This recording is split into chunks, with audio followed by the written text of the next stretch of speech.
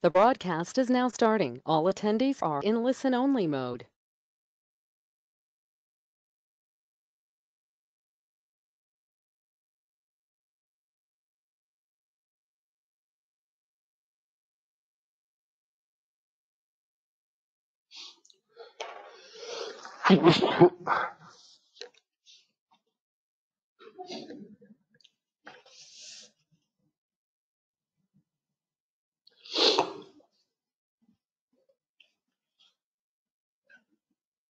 Uh, hello and welcome everyone.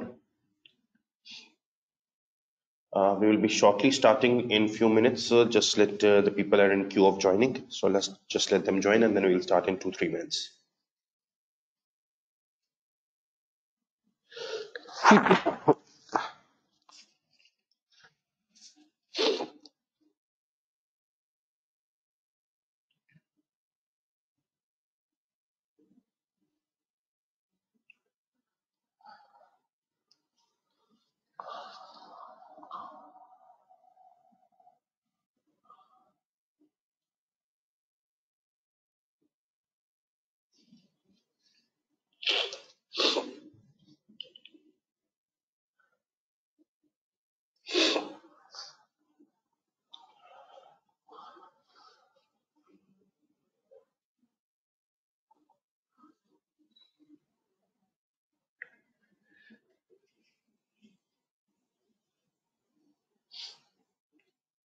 just one minute.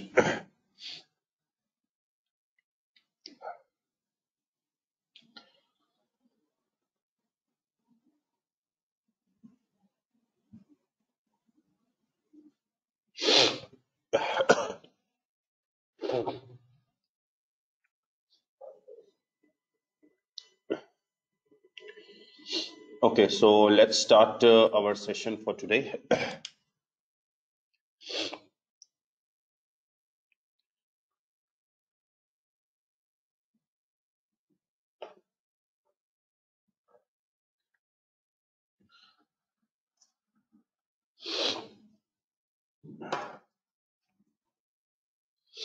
Okay, now as you all know that uh, the trend of uh, these particular classes is that we try to attempt as many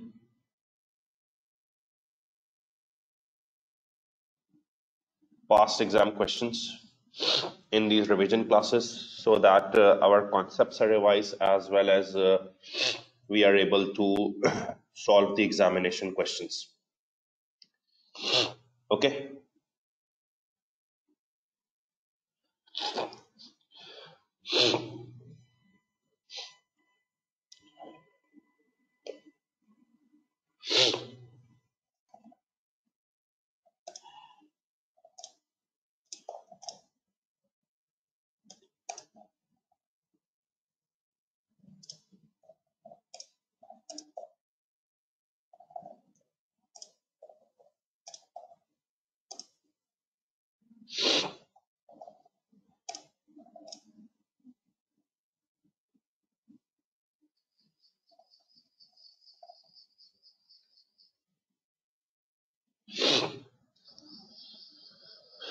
Okay.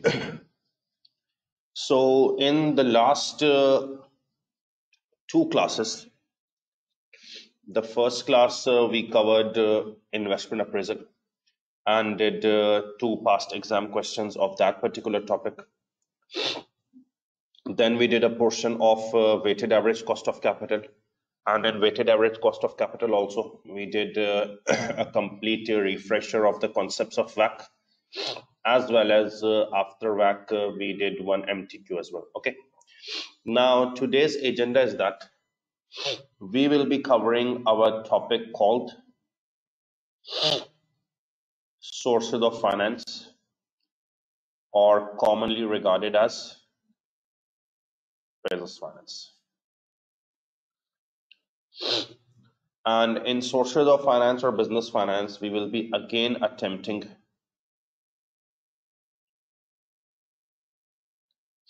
two exam questions and uh, hopefully the exam question which we will be doing from the past papers, they will cover almost uh, many aspects of uh, business finance. Okay. So the questions are in the same handout file, which was downloaded by you yesterday. You can also see this uh, handout section session.doc. If anyone hasn't downloaded the file yesterday, he can download now and then we can start questions.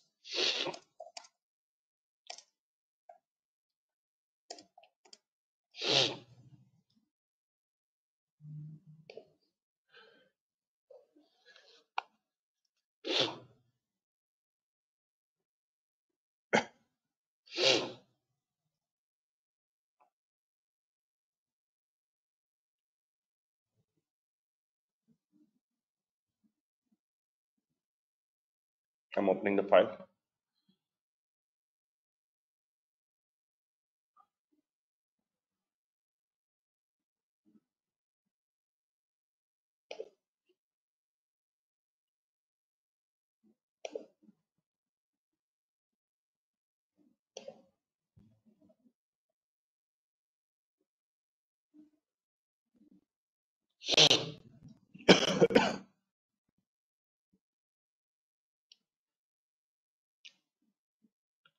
It's uh, the third question in this file called uh, Laforge company. You can view the requirements from here as well, as well as we can see the question. It's uh, the question from March, July 2020 attempt. And uh, we will be doing the question from March, July 2020. You can see it on the screen as well, and you have the file as well. Yes, uh, Bahir, it is the same file as yesterday. So when I open the question, March, July 2020, as I've told you in the first class, there is again the instruction screen. You must carefully read these instructions while uh, doing your exams because you will get an idea how things work.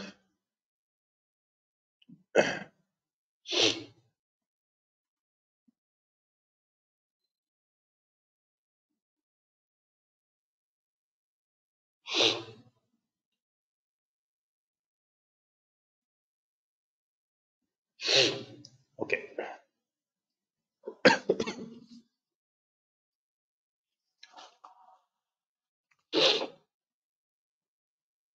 Now the question is, it's from March, June 2020.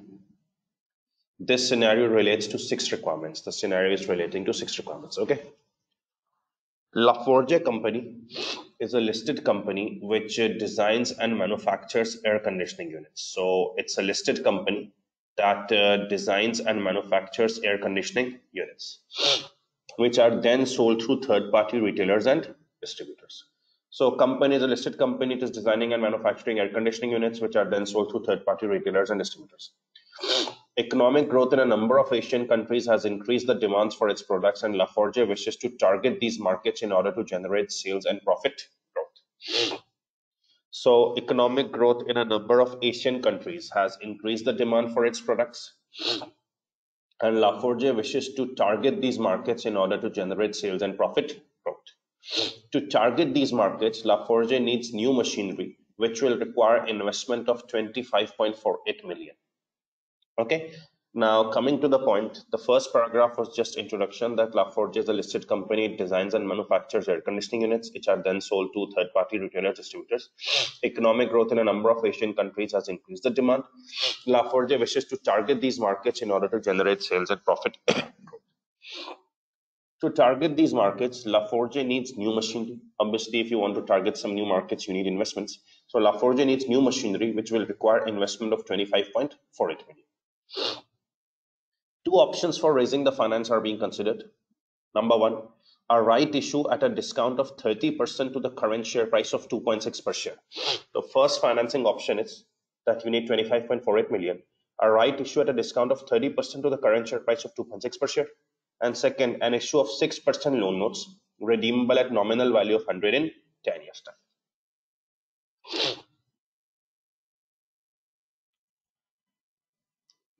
So company needs 25.48 million. Two options. One, right issue and one 6% loan. Okay. Right issue at the 30% discount of the current share price of 2.6 per share. Right issue is at 30% discount to the current share price of 2.6 per share. That means right issue is at 30% less to the current share price of 2.6 per share. That means right issue is at 1.82 per share. Okay. Or the company can raise it by 6% loan notes redeemable in 10 years time. So it's through 6% loan notes. You can raise 25.48 Okay. These are the two options under consideration.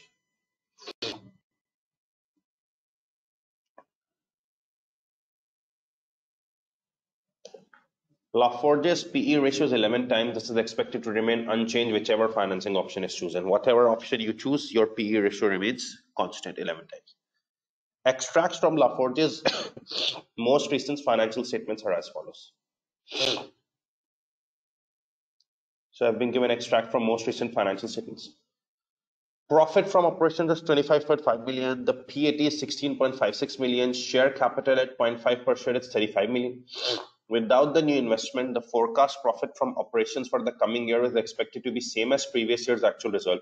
If the investment is undertaking, the forecast profit from operations is expected to increase by 4.5. Okay, so without the new investment, the forecast profit from operations is expected to be same. So if you don't invest, the forecast profit is expected to be same.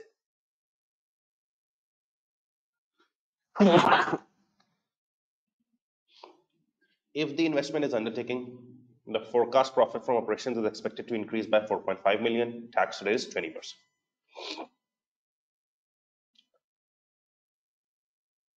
First requirement is of 4 marks.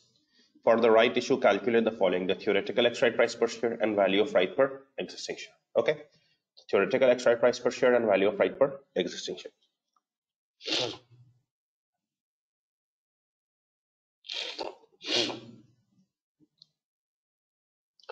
I can perform some workings here. So that's why I have uh, opened this page now. Please pay attention. Laforge is a listed company that designs and manufactures air conditioning units, which are then sold through third-party retailers and distributors. Economic growth in a number of Asian countries has increased the demand for its products. Laforge wishes to target these markets in order to generate sales and profit growth. To target these markets, Laforge needs new machinery, which will require investment of 25.48 million. So you are now clear that in order to go into new markets, Laforge needs new machinery that requires investment of 25.48 million. Two options for raising finance are being considered. First, a right issue at a 30% discount to the current share price of 2.6 per share. That means right issue is at 30% less to the current share price of 1. Point, sorry, 2.6 per share. Right issue will be at 1.82 per share because right issues are 30% less to the current share price of 2.6 per share. That means right issues at 1.82 per share. You can also check that if company is planning to raise 25.48 million, if company is planning to raise 25.48 billion and right issues at uh, 30% discount to the current share price of 2.6, it's at 1.82 per share. Company is planning to raise 25.48 million and it's issuing shares in right issue at 1.82 per share. 14 million shares will be issued. If you have gone through a question of a bar company that's in the kit as well as well, it's a past paper question. It's the same scenario. In that it was written that uh, companies planning to raise 90 million. companies planning to raise 90 million and it's issuing shares at 6 per share. So there also it said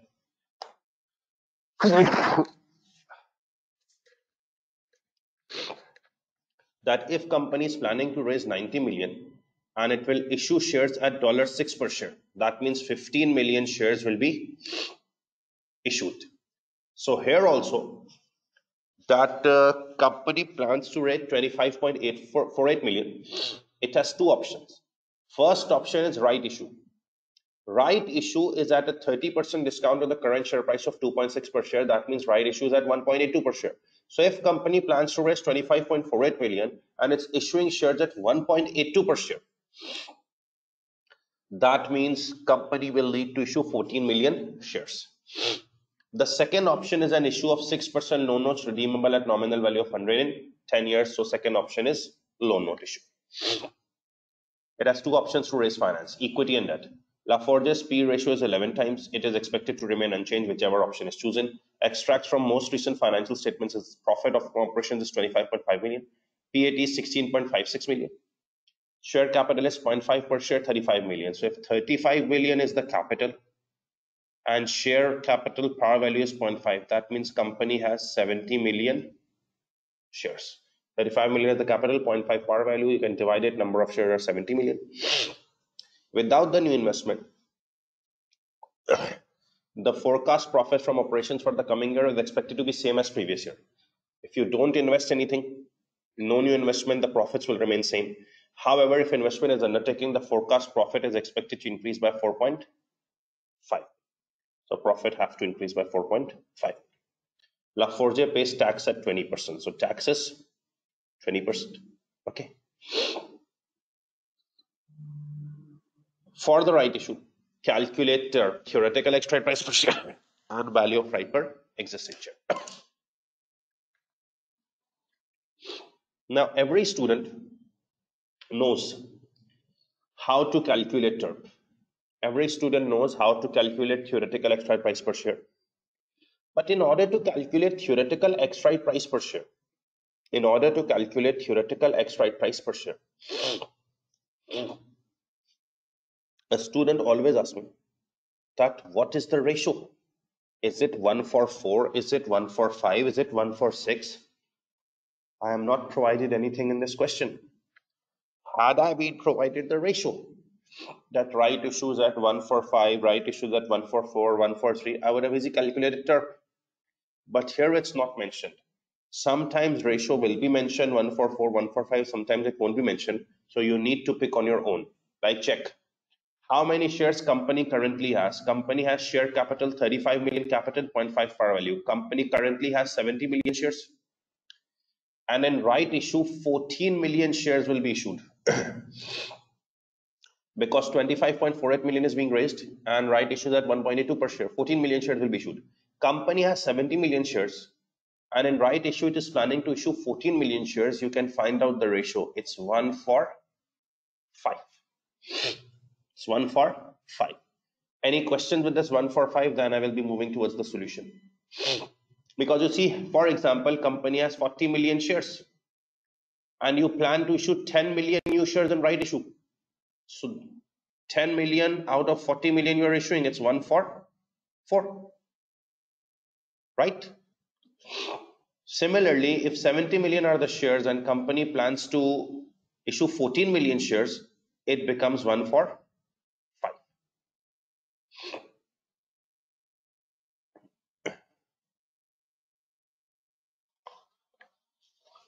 Yes, Saifullah, we are raising 25.48 million via right issue.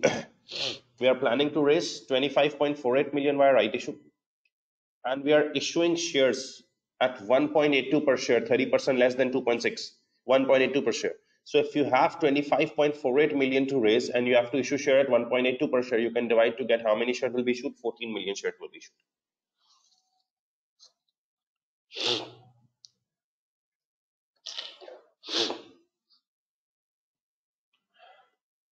So I have done all the homework required for this question and now I should uh, move towards the requirements. I've done all the homework of this question and now I should move towards the requirements.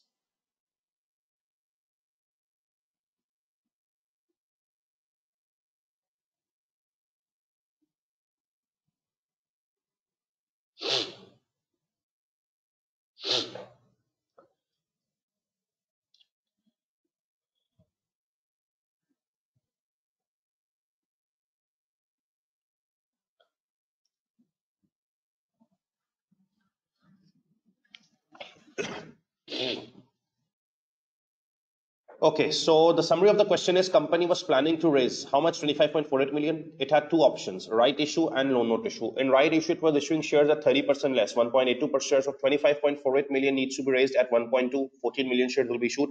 Company currently has 70 million shares and it plans to issue 14 million shares. Its ratio becomes 1 for 5. And new investment will result in increase in profits. The first requirement is third term and the value of right per existing share. Let's start.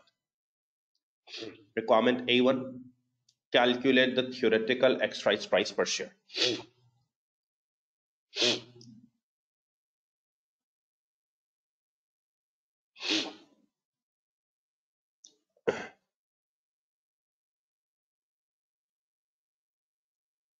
Let's calculate the theoretical right price per share. The share issue is 1 for 5. That means company 1 for 5 means it will have 5 shares at present and each share is trading at dollar 2.6 per share. 145 means company currently has 5 shares. Each share is trading at 2.6 per share.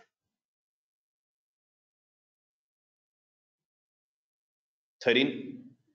On this 5 shares, one share was issued, 1 for 5. one share was issued at a price of 30% less 1.82 per share. This makes it 82. So after right issue, thing is that company will have six shares and the worth of this six shares will be total 14.82 Six shares will have a worth of 14.82. You can divide them to get the term. 14.82 divided by 6, 2.47. This is the theoretical X-right price per share. You can also get this thing in total. Like you can say that company has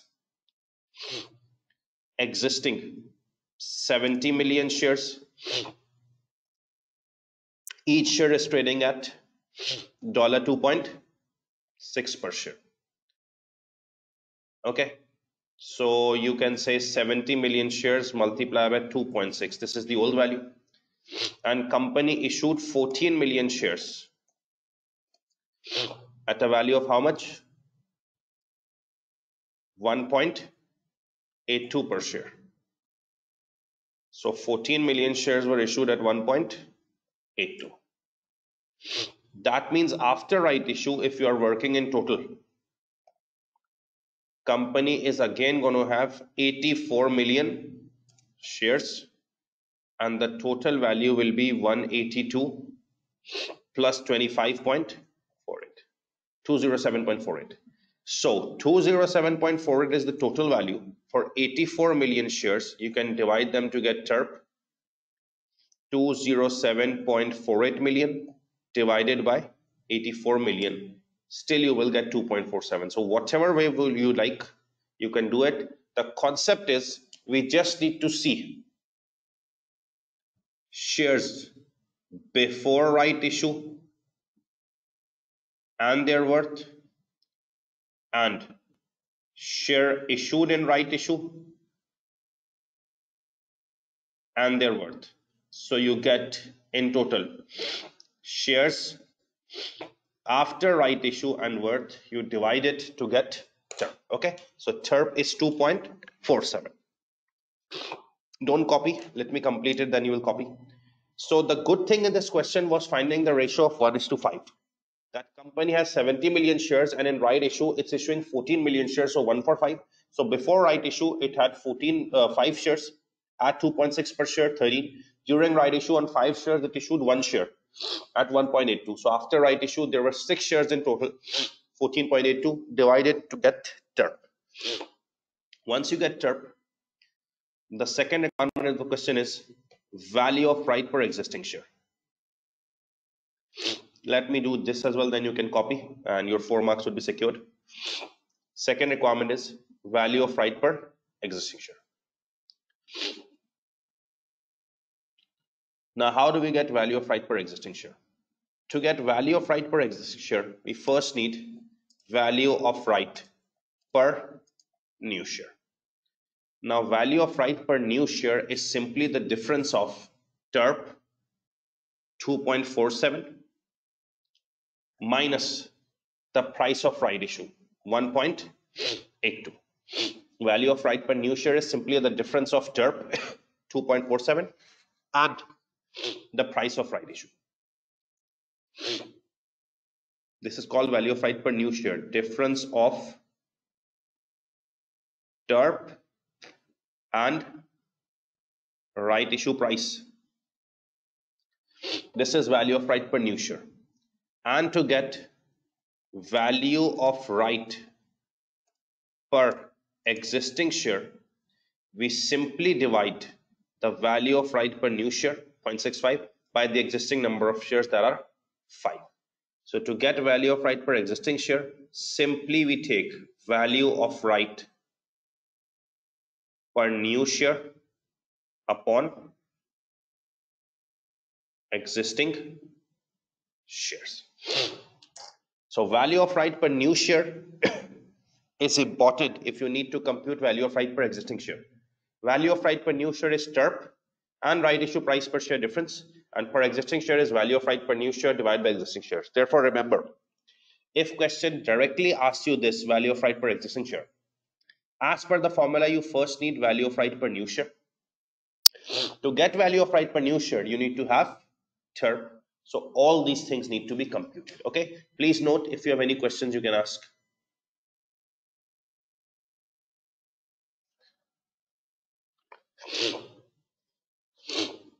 Uh, Sana, had this been OTQ, it would have options. Uh, I've clearly shared you the file as well as shown the question on the screen. It's a long question. But we didn't get 1.82. It's written in the question that right issue is at 30% discount to the current share price of 2.6 per share. What does this mean? That right issue is 30% less than the current price of 2.6 per share. This becomes 1.82.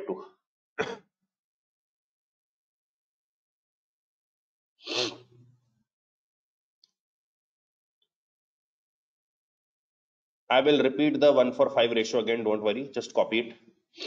Ahmadiyat 14 million came, that 25.48 million needs to be raised. And we are issuing shares at 1.82.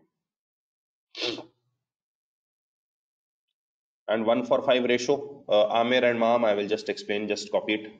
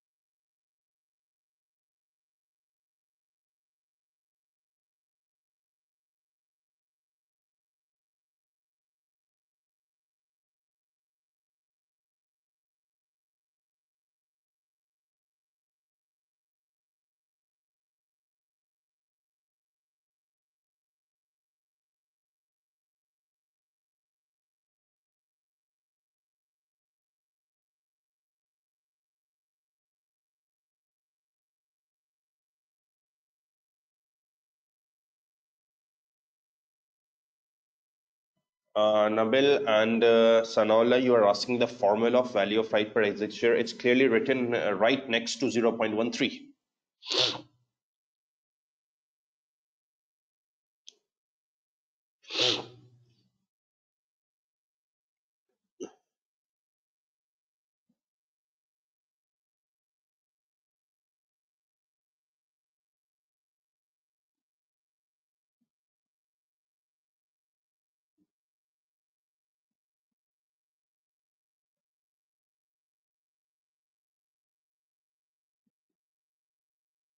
Uh, Assam, there is no linkage in TERP formula.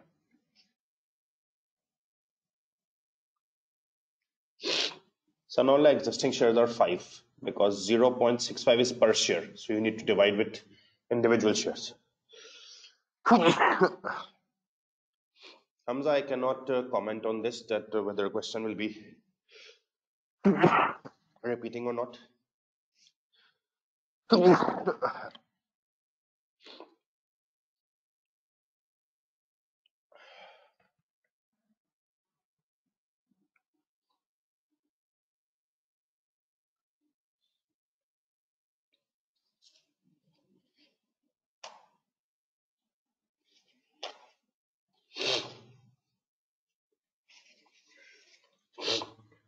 Uh, rather than uh, typing such questions, it's better you share that question. You have my WhatsApp number, then I will see. Amir, I'm sorry, these sessions are not for exam questions prediction that uh, how much uh, percentage chances, chances are that this will come or not. And uh, the other student, Hamza, whether the question will be repeated or not. These are not the sessions of question guessing. So I'm so sorry I cannot comment on this.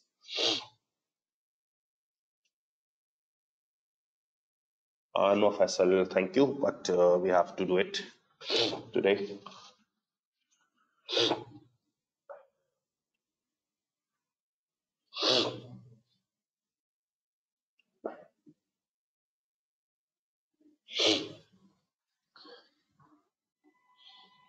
Okay, so basically, uh, there were some students who joined late and they missed a particular portion. That's why, for them to understand the latter part of the question as well, I need to repeat it quickly. Now, please pay attention. The question is Laforge is a listed company which designs and manufactures. Laforge is a listed company which designs and manufactures air conditioning units, which are then sold through third party retailers. Okay. It's a listed company which designs and manufactures air conditioning units, which are then sold to third-party retailers and distributors. Economic growth in a number of Asian countries has increased the demand for its products. Laforge wishes to target these markets in order to generate sales. To target these markets, Laforge needs new machinery, which will require investment of 25.48 million. So to target these markets, Laforge needs new machinery, which requires investment of 25.48 million. Two options for raising financial round. A right issue at a discount of 30% of the current share price of 2.6%. Now remember, company needs 25.48 million investment. Two options are a right issue at 30% discount to the current share price of 2.6. Now, if right issue is being made at 30% discount to the current share price of 2.6, that means right issue is at 1.82 per share. If right issue at 30% discount to the current share price of 2.6, that means it's 30% less, 1.82%. here it is a very key thing that if company plans to raise 25.48 million company plans to raise 25.48 million and will it will issue right issue shares issue at 30% less to the current share price that's 1.82 so if you are planning to raise 25.48 million and you will issue shares at 1.82 if you are planning to raise 25.48 million and you will issue shares at 1.82 that means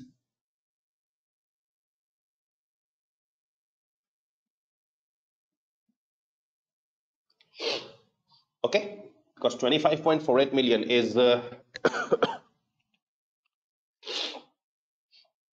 the amount you need to raise and you will issue shares at 1.82 that means 14 million shares will be issued. The other option is issue of 6% loan notes redeemable at nominal value of 100 Laforge's P ratio is 11 times. This is expected to remain unchanged. Extracts from Laforge's most recent financial statements are profit is 25.5 million PAT 16.56 share capital is 0.5 per share nominal 35 million here I wrote if share capital is 35 million, nominal value is 0.5. Company currently has 70 million shares. Okay, if share capital is 35 million and par value is 0.5, that means company has 70 million shares. Company has 70 million shares and it's planning to issue 14 million new shares. Okay, company has uh, 70 million shares and it plans to issue 14 million new shares if you have 70 million shares and you plan to issue 14 million new shares from here i get one for five like if company had 40 million shares and it planned to issue 10 million shares so this makes one for four so if company has 70 million shares and it is issuing 14 million shares, it's one for five. Now the requirement is TERP. So how do you find TERP? Check before right issue, it's one for five. so before right issue, company will have five shares. Price is 2.6 before right issue. So 13. And in right issue, one share was issued at 1.82 per share, 1.82. So after right issue, company had six shares in total, combined worth 14.82. You can divide it to get 2.47. You can also do it in total. No need for one for five. Before right issue, 70 million shares at 2.6 per share, 182 million. During right issue, 14 million shares issued at 1.8 to 25.48 million. You can add combined worth is 84 million shares, to 07.48. Again, divide to get 2.47. Okay, this is TERP. How do you get value of right per existing share? The formula of value of right per existing share is value of right per new share over existing shares. So you firstly need value of right per new share. Value of right per new share is the difference of TERP and right issue price. So you can open the cell. TERP is 2.47. Right issue price is 1.82. I took the difference to get value of right per new share 0.65 and value of right per existing share is value of right per new share 0.65 over existing shares 5. Okay. I hope it's clear now.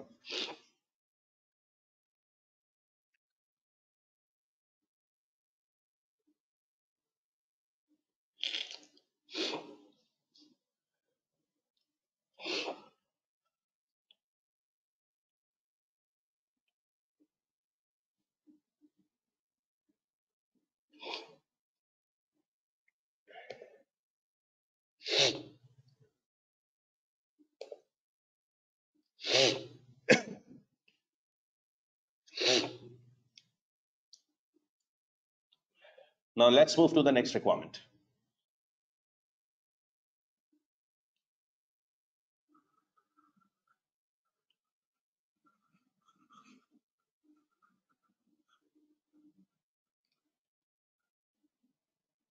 Next requirement is assuming that the investment goes ahead assuming that the investment goes ahead that means for this part assume investment of 25.48 million goes ahead. Because for this part it's clearly mentioning that assume investment goes ahead. You're going with the investment. Calculate Laforge's forecast earning per share for the coming year and resulting share price if it finances the investment using each of these alternatives right issue note issue remember to make the investment of uh, 25.48 million. Remember to make the investment of 25.48 million. Company had two options.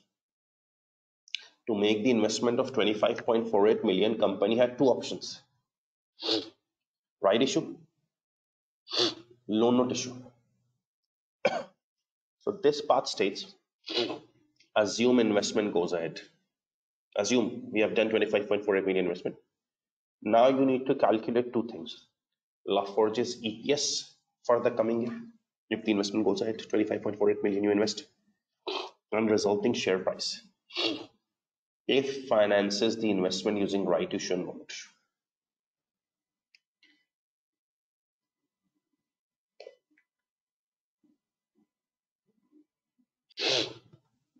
Let's suppose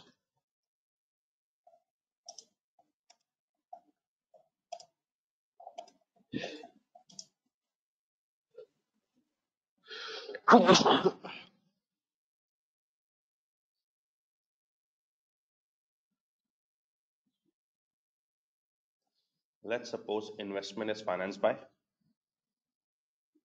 right issue.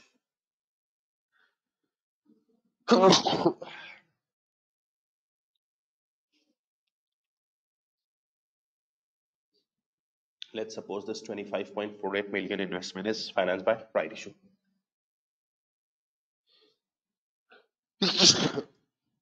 You are required to calculate forecast EPS for the coming year.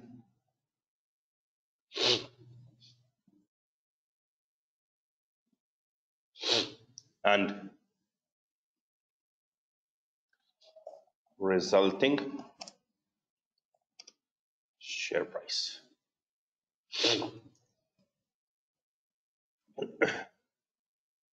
These are the two requirements. I have not uh, discussed the loan note portion yet.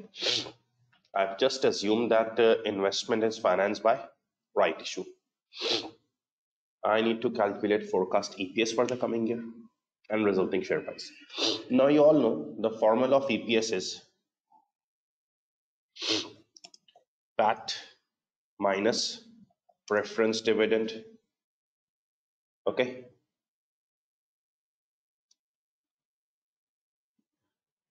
Divided by number of ordinary shares.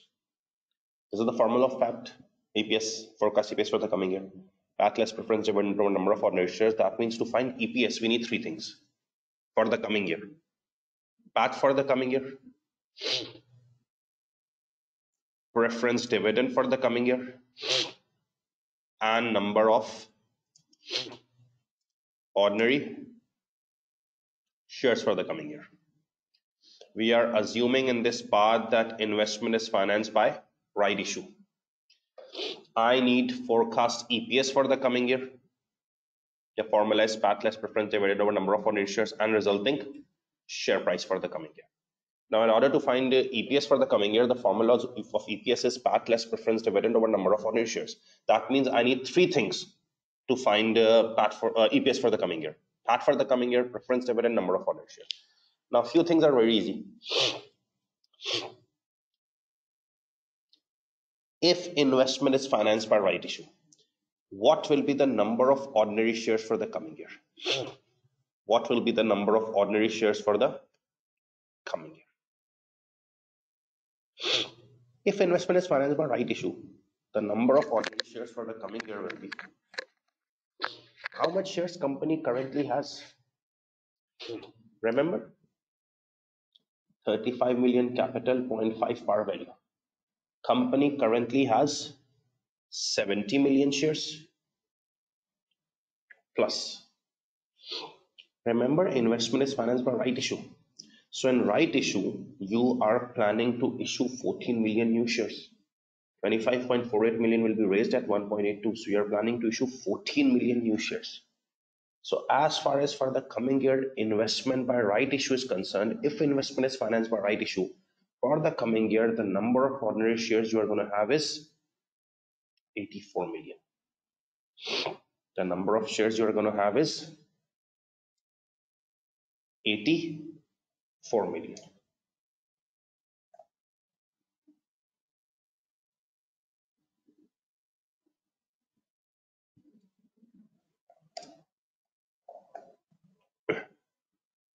okay. Because this investment is financed by right issue. So for the next year the number of ordinary will be 70 million uh, current and 14 million new will be issued. What will be the preference dividend for the coming year? Zero because there are no preference shares on the balance sheet. You can see the balance sheet. There are no preference shares. So no preference shares means no preference dividend what would be the pat for the coming year?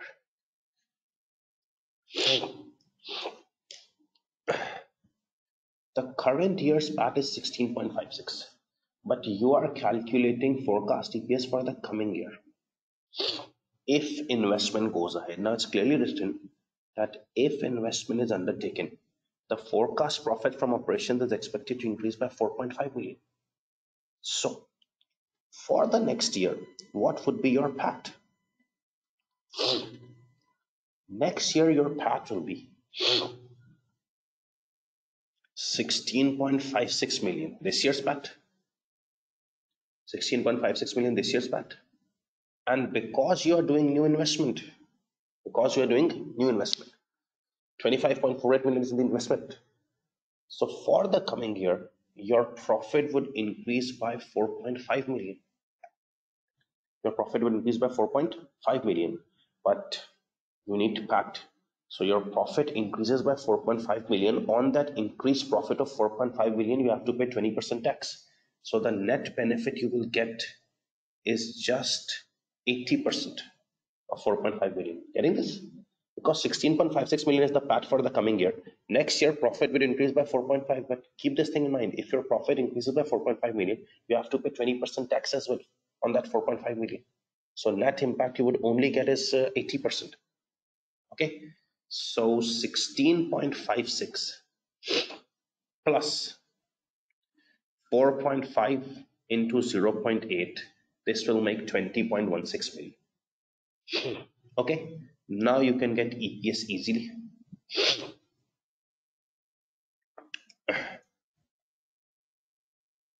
PAT 20.16 less preference dividend. 0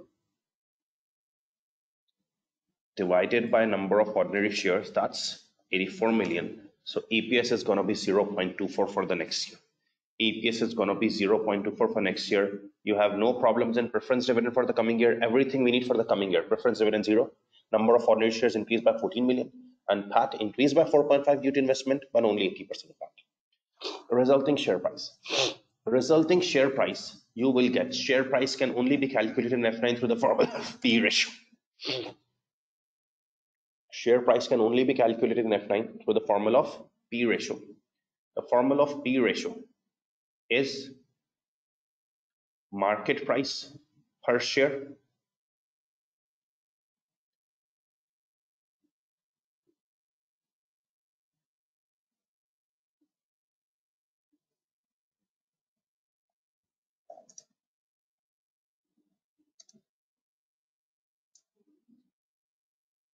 Over earnings per share Okay, the formula of P ratio for the coming year, share price is always computed through P ratio, market price per share or earning per share.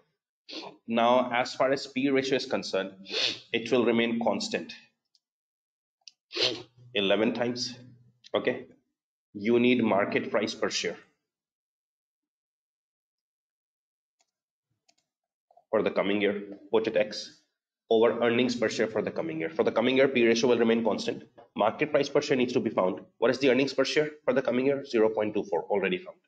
So take 0.24 there. The market price per share is gonna be 2.64. This ends if investment is financed by right issue. You get EPS for the coming year and share price. Okay, please copy any questions you can ask.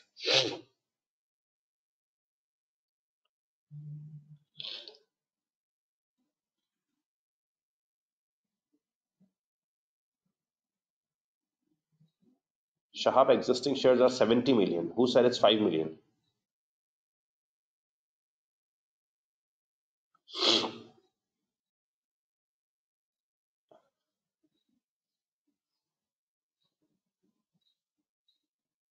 So Noman, if you want to take the long route, you can. That first you need to increase profit from operations. Okay. Then you need to take uh, tax working separately and then get PAT. I think you should save time. Uh, Shab, even for previous part, there was no five or six. It was 70 million uh,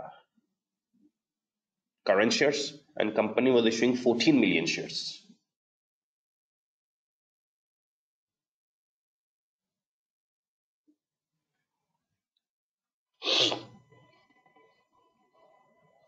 Assam, I will just do it. Wait, please.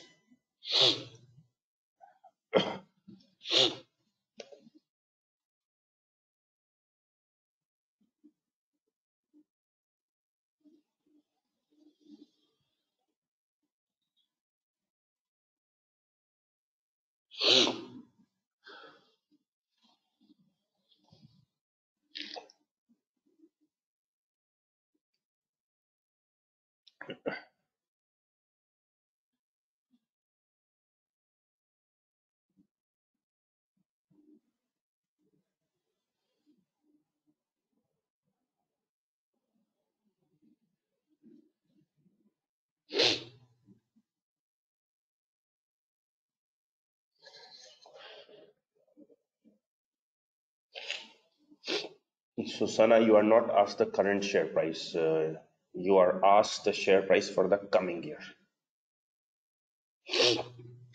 Amna and Noman, you both are doing the same mistake. So let me just uh, solve it through your method so that you get clarity. Please wait a minute.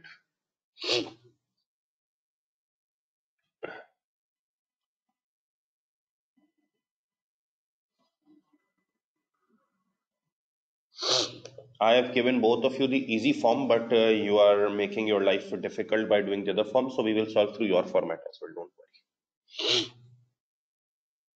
worry.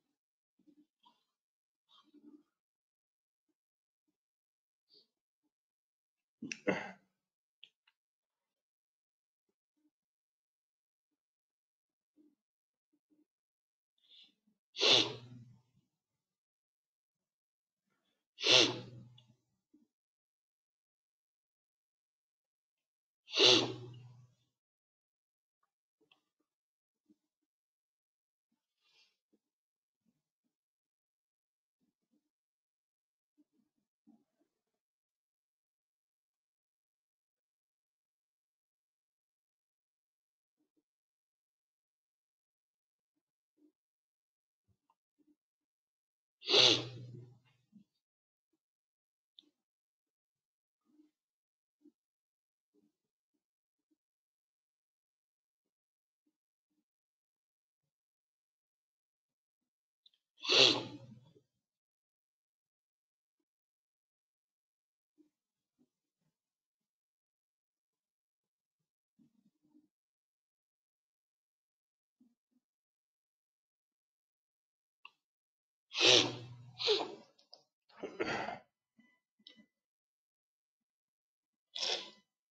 Yes, you will always use P ratio.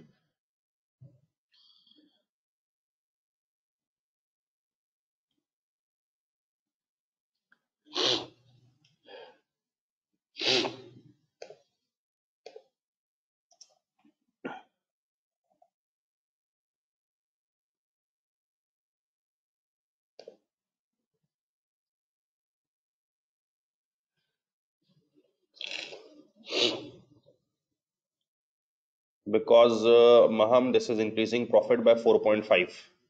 So obviously when profit increase, you have to pay 20% tax as well.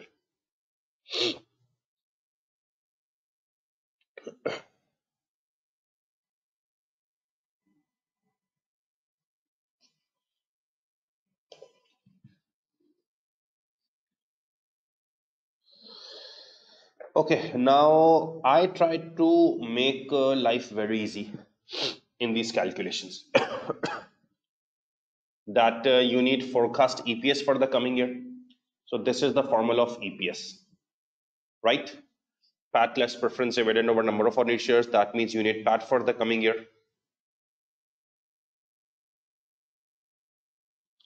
You need preference dividend for the coming year and you need number of ordinary shares. Okay. So for the next year, number of ordinary shares are 70, increasing by 14 million due to investment, 84 million. Next year, preference dividend zero because no preference shares. Next year, PAT. So PAT current year 16.56. It says due to investment, it's increasing by 4.5. So increase by 4.5. But on that increase 4.5, you have to pay 20% tax. Okay.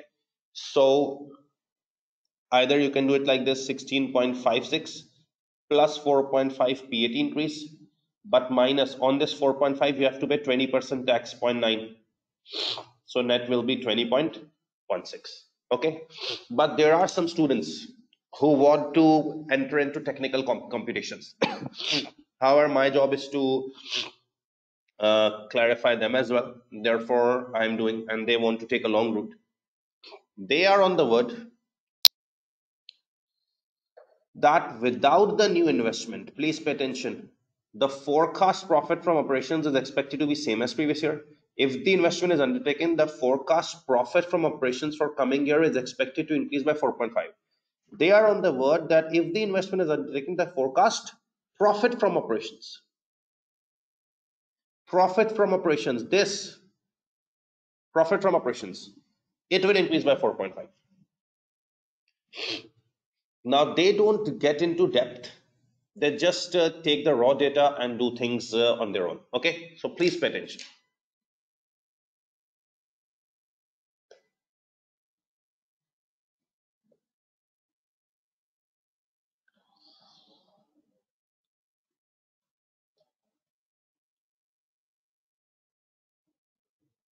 Now, if you see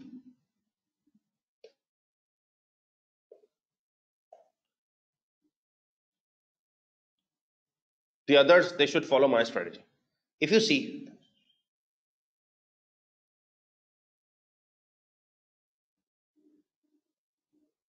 the profit from operations was 25.5 million and the profit after tax was 16.56 million.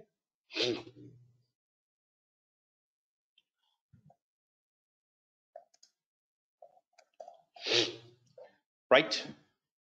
This was the data given. Profit from operations 25.5 and 16.56 was PAT. Now please pay attention. Profit from operations is 25.5. You know profit from operations, we deduct costs and get PAT. Tax rate is 20%.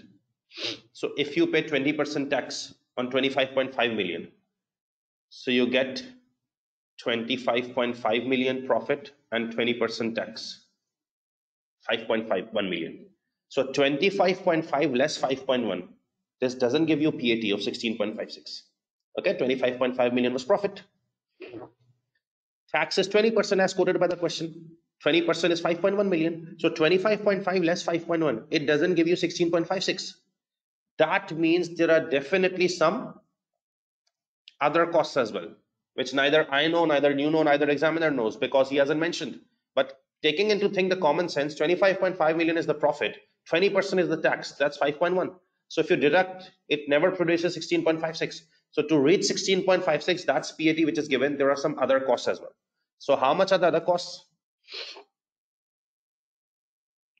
25.5 minus 5.1 20.4 but you are saying that PAT is 16.5 that means there are some hidden other costs as well. That is 3.84 so this is the normal profit and loss statement which is given in the question. It was hidden. It just says profit from operations was 25.5 and 16.56 was PAT so that means there are some mid costs. One is tax 20%, that's 5.1. Differential is some other cost. Now, due to this investment, please pay attention. Due to this investment, it's saying that profit from operations increases by 4.5 million. So if due to this investment, the profit from operations increases by 25.5 million, increases by 4.5 million, this figure should become 30. Okay. Because of this investment, the profit from operations increased by 4.5. So this figure 25.5 should become 30 for the coming year. On this 30, you will pay 20% tax. On 30, if you pay 20% tax, it's 6. Okay. And is there any information about increase in other costs? No, there is no information about increase in other costs, so they are likely to remain same. Check now.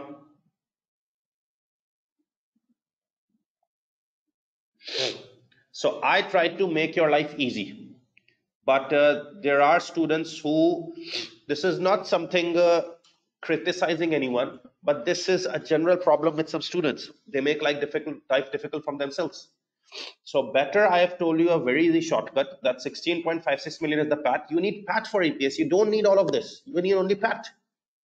So PAT will increase by 4.5 due to increase in profits, but 20% impact will be gone due to tax. So 20.16 will remain. However, those who want to do a very long route, they can use that. Okay.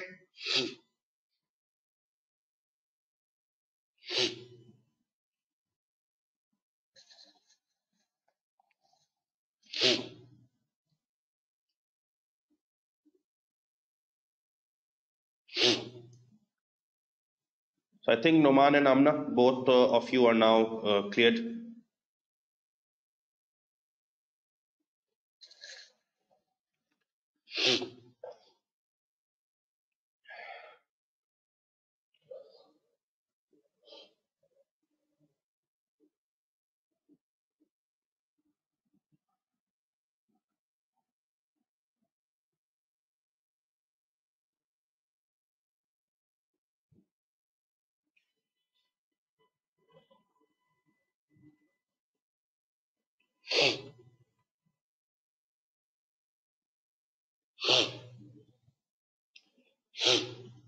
Manur, if profit increases by 4.5 million, you have to pay 20% tax on that.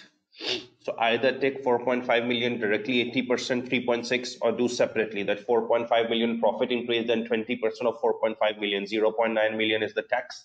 Then we reach 3.6 million. So it's uh, your choice.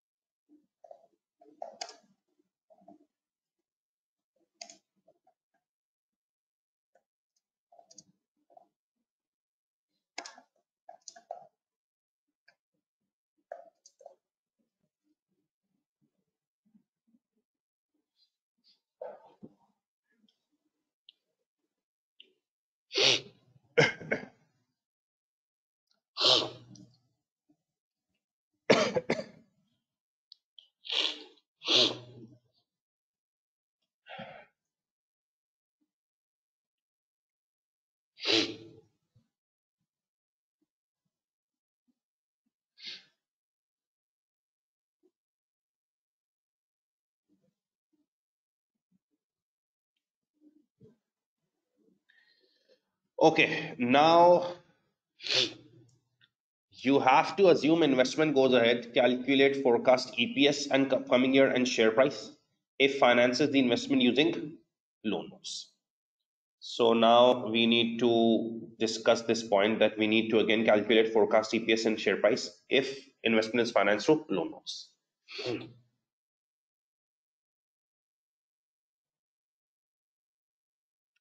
Again, we will do it uh, in an easy manner.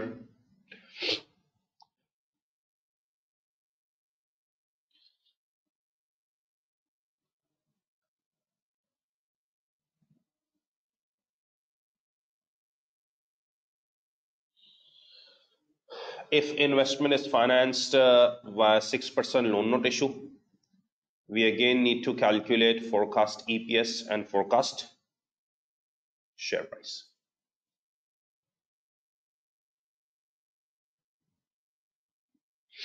Okay, if investment is financed by 6% loan notes, we again need to calculate forecast EPS for the coming year and forecast share price for the coming year.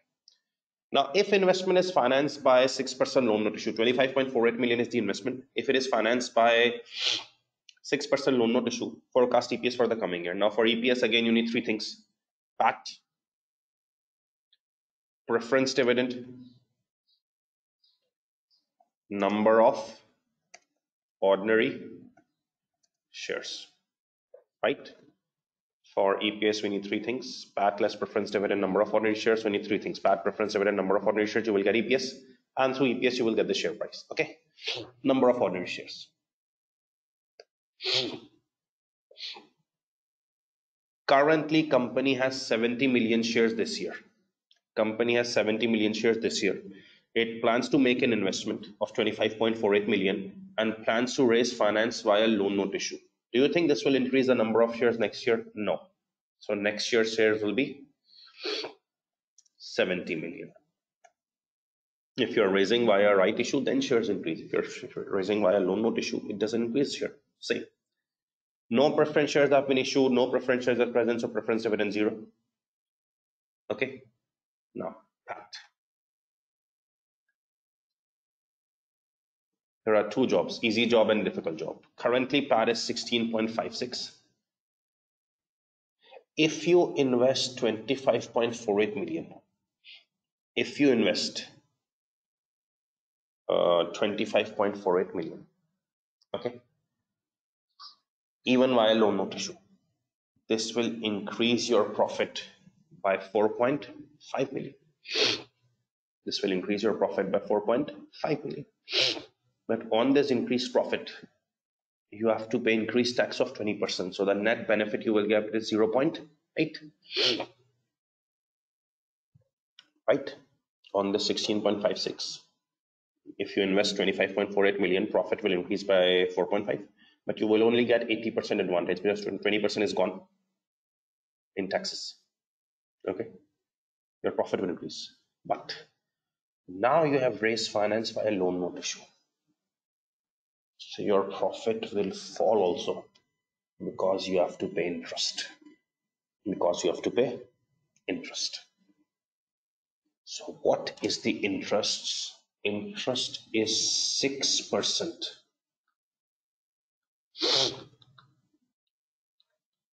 Interest is 6%.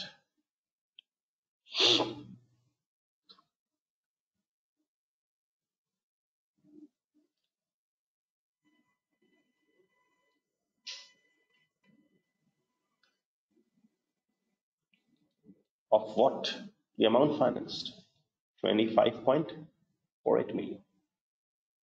So interest is 6% of 25.48 million. 1.5288 million is the interest.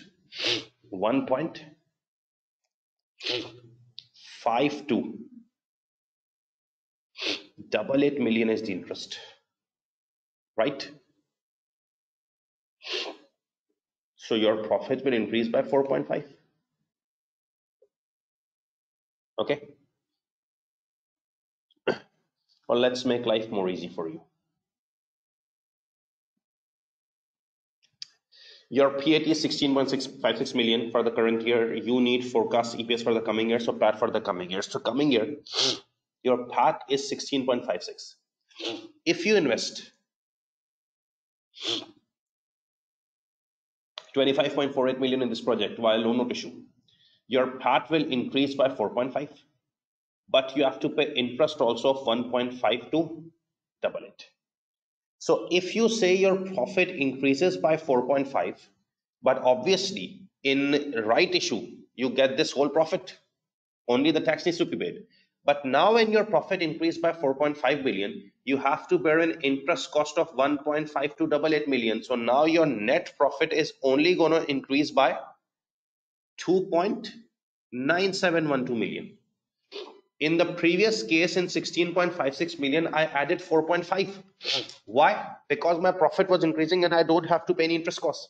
But now since it's a loan note issue, my profit will increase by 4.5, but I have to pay 1.5 to double it interest. So my profit will only increase by 2.9712. But if my profit will increase by 2.9712, I have to pay additional tax as well of 20%. So I won't get advantage of the full profit. I will only get advantage of 80% okay so this will make 16.56 plus 2.9712 0.8 18.93 million. Okay. Now you will get eps easily. Pat is 18.9369 less preference dividend zero. Okay. And number of ordinary shares it's 70.27 and you can get the share price through P ratio. P ratio remains static at 11 times. You need market price per share.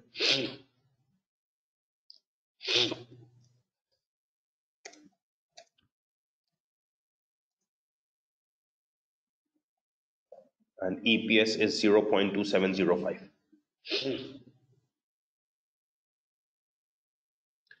You will simply get market price per share as 11 into 2.9757. Okay, please copy it. Any question you ask, it's the same thing, but in that I only increase profit by 4.5 but here I increase profit by 4.5, but I also deduct interest cost. So profit only increased by 2.97 and no matter whatever profit increase, we only get 80% share.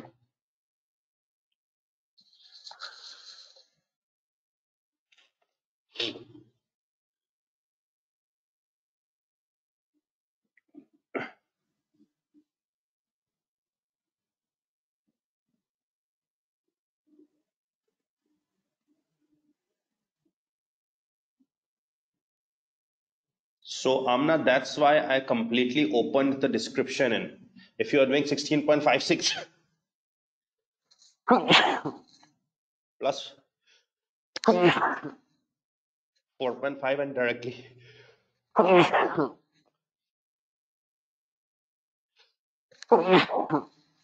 taking 80%, you are doing wrong. because 16.56 is already after tax. The tax has already been deducted. So you're again multiplying it at 0.8, that's wrong. Always you multiply with 100 par if you need to get interest of one bond. Here you need total interest.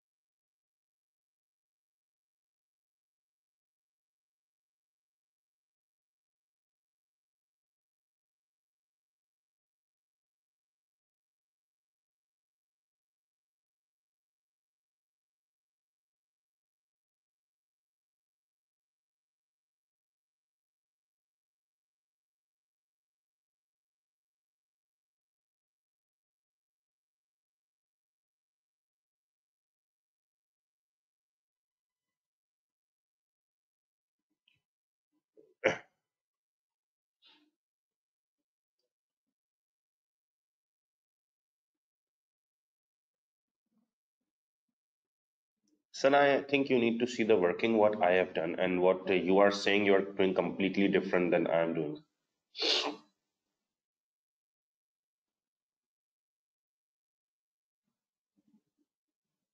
You are taking 20.16, that means increase by 4.5, deducting 1.5 to double it. Where is the tax impact on this 4.5 and 1.5 to double it? Amna, because loan note issue doesn't increase the number of shares. Loan note issue means you are issuing loans. How will it increase the number of shares? Ahmad, I've written interest on loan notes. It's 6% of the amount raised. If you raise 1 million from a bank and 6% interest, you just need to multiply it. That's what we are doing.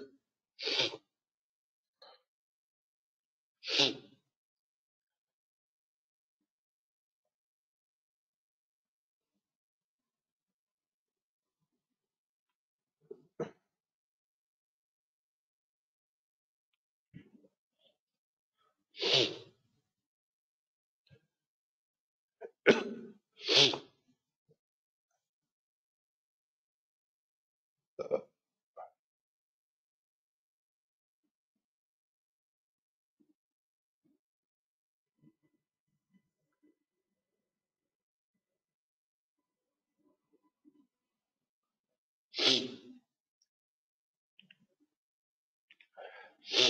Arslan your calculation is wrong, simply marks will be deducted.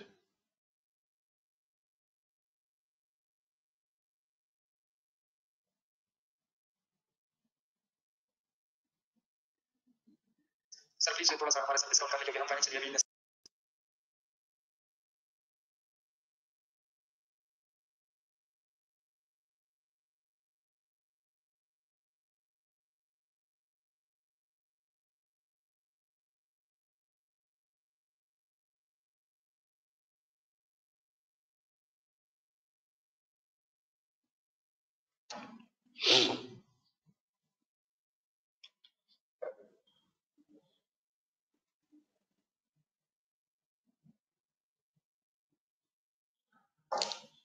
Ahmed, this is the interest. What you're asking. How is interest calculated? This is the interest portion. How do you get interest? The amount financed multiplied by rate of interest.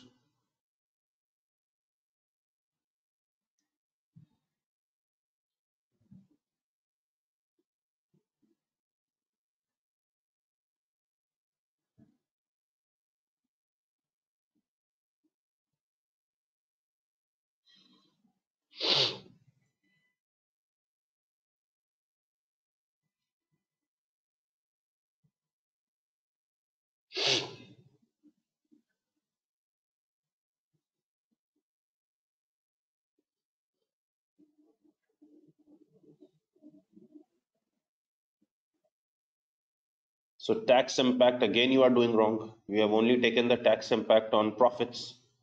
Interest also reduces profit and reduces tax. Where is that impact? Therefore, again, I have told you an easier way and you are doing a difficult way. Because you earn profits, you have to pay tax. But when interest comes, it reduces profits and reduces tax as well. That impact is missing in your calculations. Hmm. So basically, if you talk about uh, the previous right issue case. 16.56 million was the profit okay? 4.5 million additional profit but you only get 80% share of that profit because 20% is gone in taxes okay? So this was 20.16 million the new pat but here 16.56 million was your profit. Now your profit increased by 4.5 but recognize this thing that if profit increased by 4.5 now you have taken loan. So you have to pay interest of 1.5 to double it as well. So now your profit is only going to increase by 2.9712 million. And of this increased profit you are not going to get the whole share. 20% will be taken away by taxation authorities. You will only get 80% so this is 18.93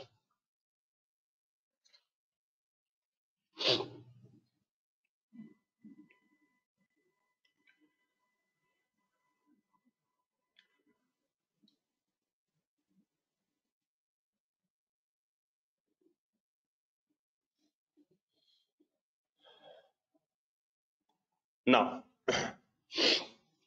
part C of this question. Discuss ways in which a company can issue new equity shares.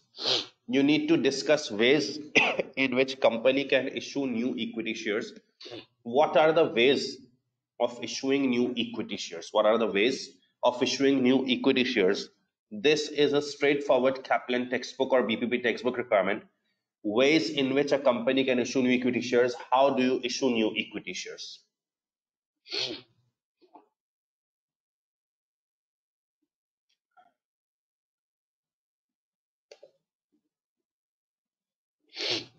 Now, what are the methods of issuing new equity shares? There are four commonly used methods. One is called right issue. If you can see on the screen, one is called right issue. This is a method of issuing new equity shares. What is the right issue? Explain it briefly. That right issue involves issuing shares to existing shareholders in proportion to their existing holding. They are often successful, easier to price, and are cheaper to arrange. I think that would be it for a mark. People generally believe that examiner answers are too long. Obviously, he is the examiner. In any paper, not I am talking only about financial management, in any paper, you can never ever write the same answer as the examiner answer because that's not your level. So key points to the point, they give you marks. One mark per point would be enough. So method of issuing new equity shares, one is a right issue. Through right issue, you can issue new equity shares and after giving heading of right issue, you can just mention this. That right, right what is right issue? Involves issuing shares to existing shareholders, are successful, easier to price, etc. Another way of issuing new equity shares is private placing. What is placing? Placing is simply when shares are not issued to individual investors, but they are issued to institutions. They are issued to institutions. This is placing. Either you issue shares to investors or institutions, your equity shares increase in the market. So placing is also a thing. Third is the public offer. This is the way of issuing new equity shares. What is a public offer? Company can go to general public if it's listed and offer them shares. This is another way of issuing new equity shares. And fourth is initial public offering, IPO. IPO and public offering are the same thing, but public offer is used by those companies who are already listed. And what differentiates it is initial public offering is when the company is getting listed for the first time. They can issue their shares and increase the number of equity shares. People say there are more methods of issuing new equity shares. One method is called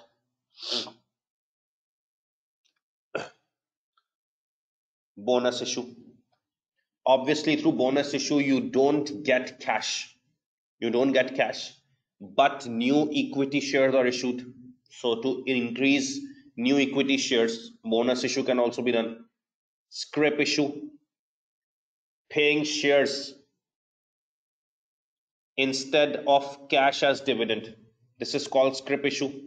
Again, a part of your financial management that you issue shares rather than cash as dividend.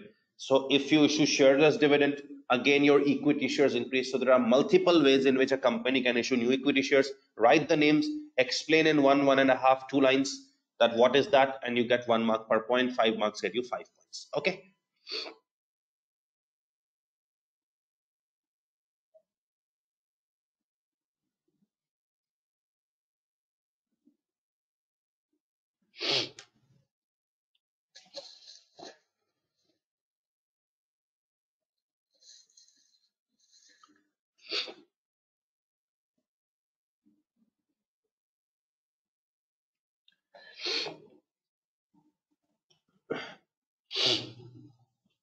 Amit scrip issue is usually used at the time of dividends and bonus issue can be done anytime.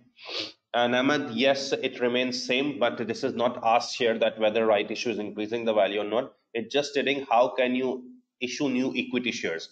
Can be via public offering, can be via right issue, can be via uh, bonus issue or scrip issue. IPO is initial public offering. You go to public uh, and offer shares for the first time and uh, placing is when you don't issue shares to individuals you issue shares to financial institutions companies so when shares are issued to companies they increase your equity obviously you have issued shares it increases equity this is called placing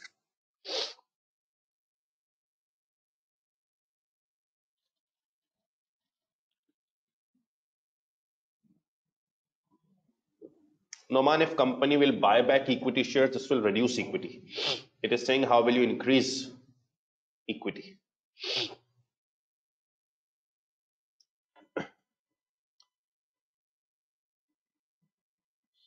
Uh, Jawad, uh, your view is right that uh, examiner wordings are technical and tutor wordings are easier. That's why people take classes from tutors because if they understand everything just from examiner answers, they don't need to take classes. But uh, reading examiner answers, even they are detailed technical, uh, you see it enhances your knowledge and you can remember some points and get them in the exam. So they obviously help you in getting some key points. Uh, they don't help you at all in learning or rote learning stuff, but they help you in getting, gaining the key points.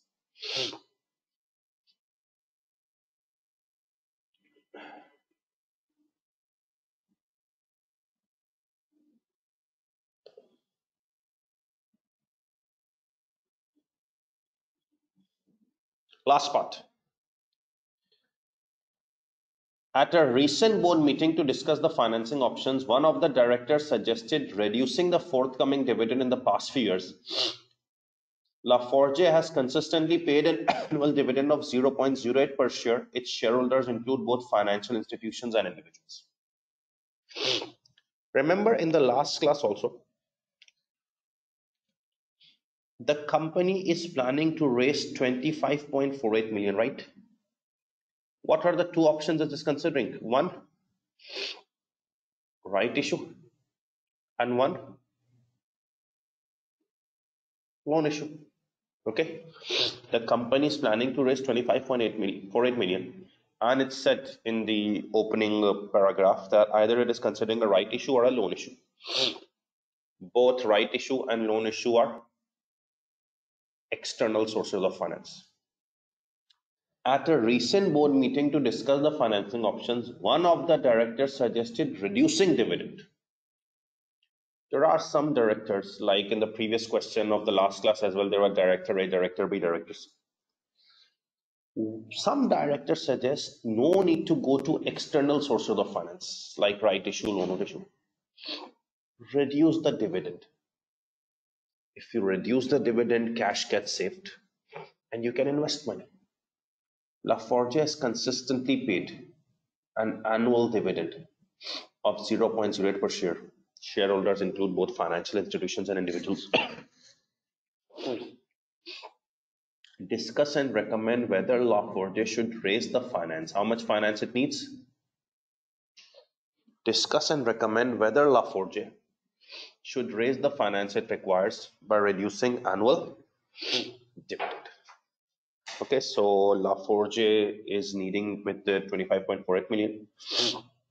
And one of the directors is saying, don't go for right issue or loan issue. Reduce dividend. So discuss and recommend whether Laforge should raise the finance it requires by reducing dividend. How much dividend company is paying? 0.08 per share. And you know company has 70 million shares. So even if you reduce dividend,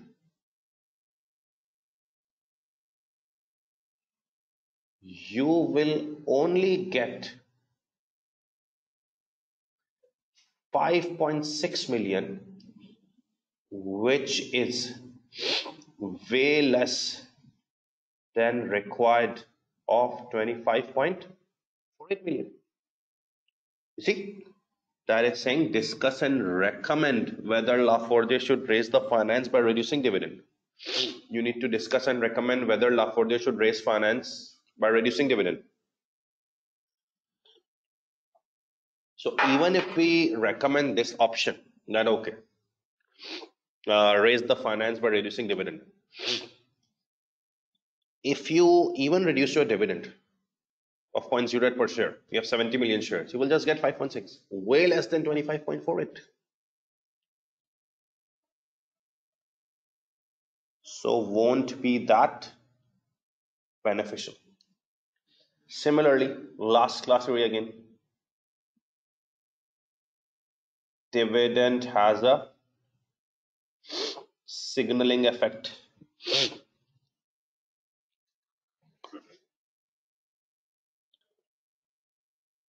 When dividend is reduced, it is a signal for investors that company may be in problem so creates a bad image.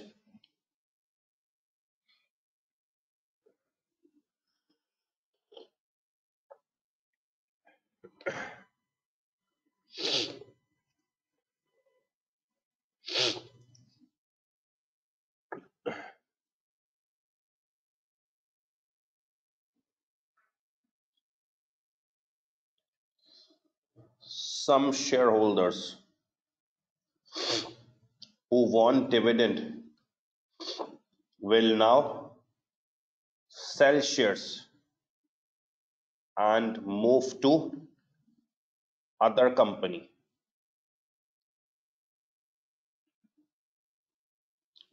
Which may result in fall in share price.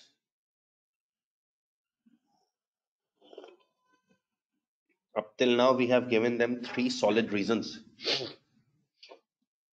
That uh, how this proposal will affect less amount signaling problem they may switch to other companies okay? So it is recommended that company does not go for this option okay?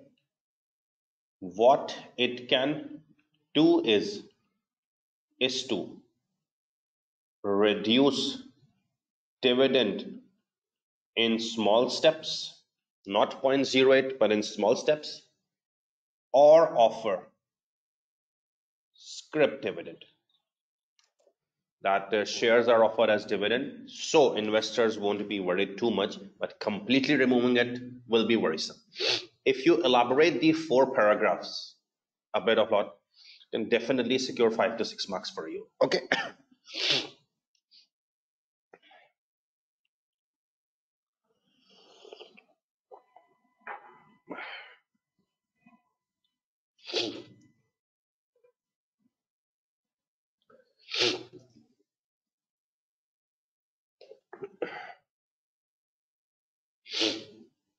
so you can just copy all this stuff. In the meantime we will go for a break okay? And after the break we will resume with the second examination question okay?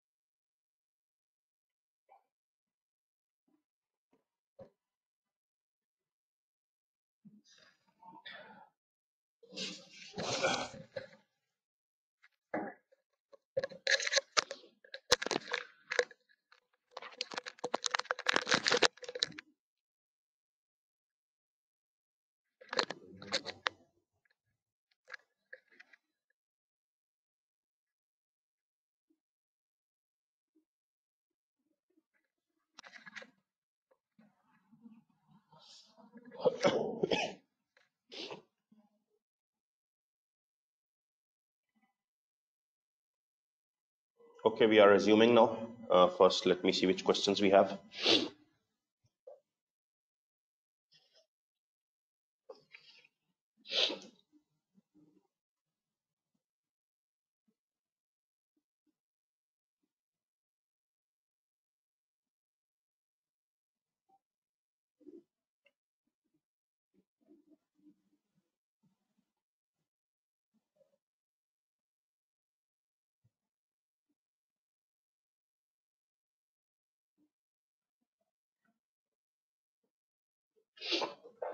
Okay, then since uh, you are issuing loan notes now, so loan notes don't increase the number of shares, right?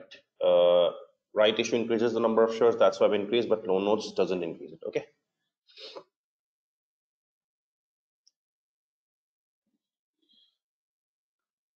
Okay, now we will be moving towards uh, the next question of uh, sources of finance, which we have to do in today's class. And this is uh, the next question. Spine Company. Okay.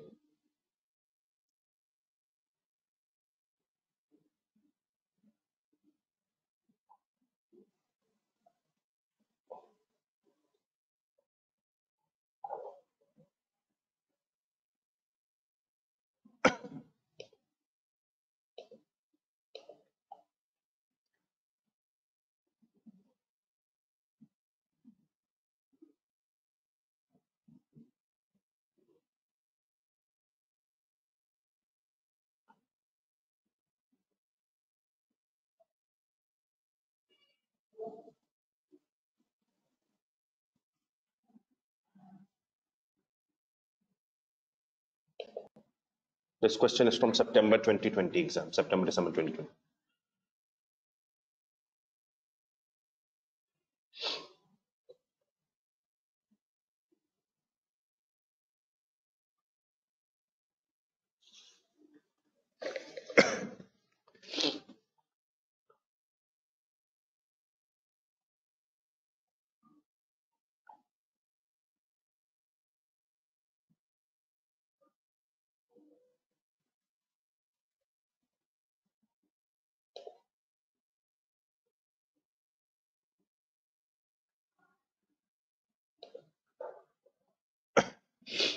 Okay, you can read the question from uh, there as well, uh, the handout file which I've shared, and you can also uh, deal it from uh, this uh, screen.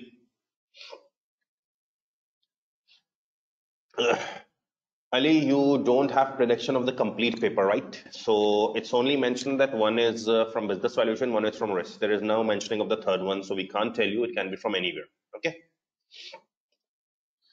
Okay, this scenario relates to Sri Comments. Spine company is looking to spend 15 million to expand its business. Okay, it's planning to spend 15 million to expand its business. The expansion is expected to increase PBIT by 20%. Recent financial information relating to Spine can be summarized as follows. The PBIT is 13040, interest is 240, so you deducted it to get PBT 12800, taxation is 3840, PAT is 8960. Spine is not sure whether to finance the expansion with debt or equity. Again, company is planning either debt or equity. If debt is chosen, the company will issue 15 million 8% loan notes at their nominal value of 100. If equity is chosen, the company will have 144 right issue at a 20% discount to the current market price of 6.25 per share. Spine has 12 million shares in issue. It currently has 12 million shares in issue. It pays tax at 30%.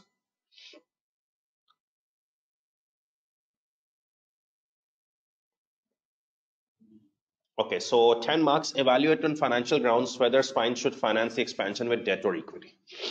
Whether it should go for debt or equity. Okay.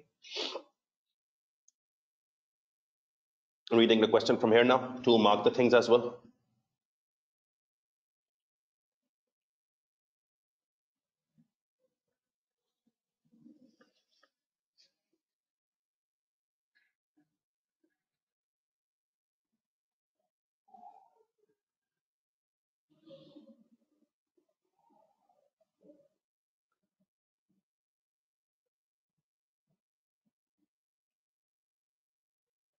Spine is looking to spend 15 million. Okay, company is planning to spend 15 million to expand business.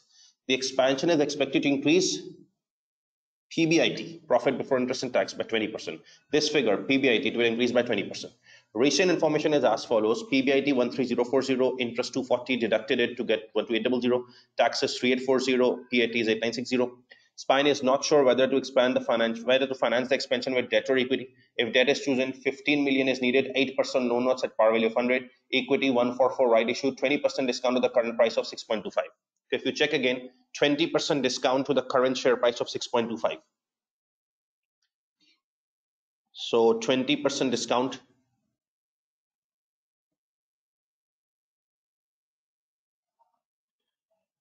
to the current share price of uh, 6.25. This will make it 5. So right issue will be made at dollar 5 because it's 20% discount to the current share price of 6.25 that means of 5 spine has 12 million shares tax rate is 30% evaluate on financial grounds whether spine should finance expansion with debt or equity. Let's just uh, draw the summary of the question first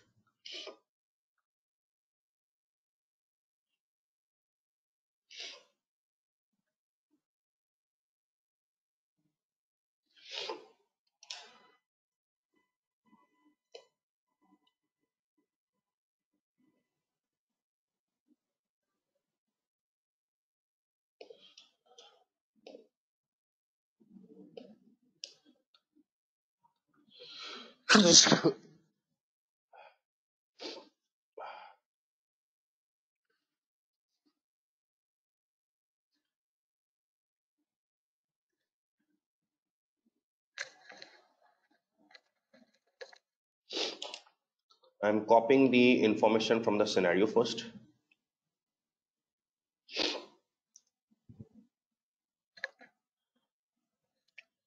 Next question is uh,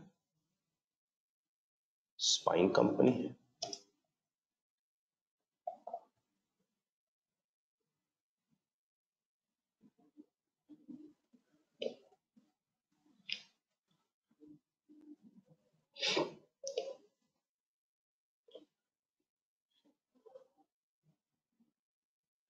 Okay, so this is the current situation of the company.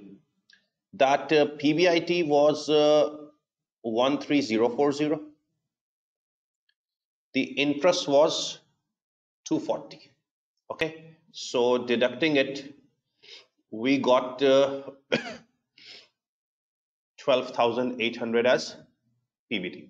Then you paid taxation. What is the tax rate? 30%.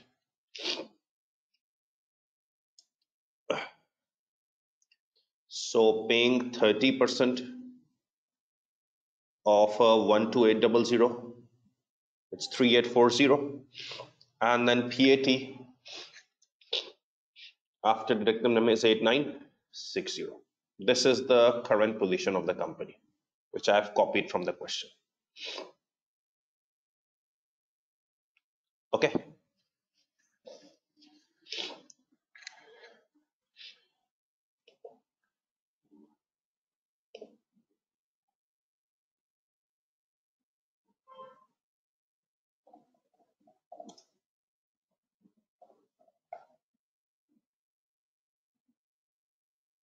So current position is as follows, which uh, is PBIT is 13040, interest is 240, PA, P, PBT, then tax, and then PAT.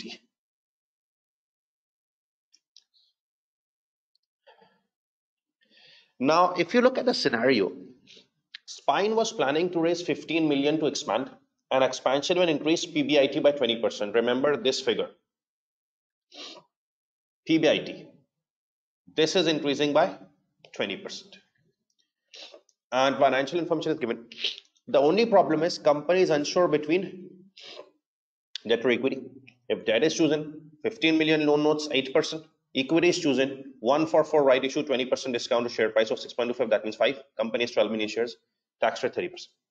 Evaluate on financial grounds whether spine should go for debt or equity. Very easy question. Whether it should go for debt or equity. Just check some ratios to decide whether it should go for debt or equity. And to check some ratios, whether it should go for debt or equity, to calculate ratios, you need to have a PNL having debt option and PNL having equity option. This is also part of financial management syllabus and students who have taken classes from us, this is taught. Okay, that uh, whether on financial grounds, spine should go with debt or equity, you need to find some ratios of debt or equity to comment. And to find ratios, you must have a PNL having debt and PNL having equity. Let's start.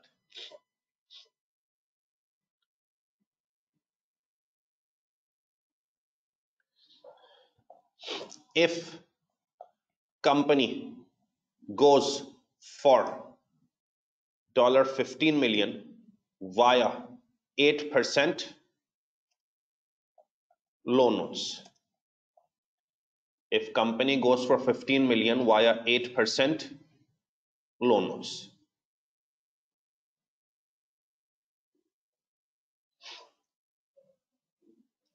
Find some ratios to decide whether it should go for loan notes or equity. But to find the ratios, you must have information of updated PNL that what will happen if company goes for 8% loan notes or equity.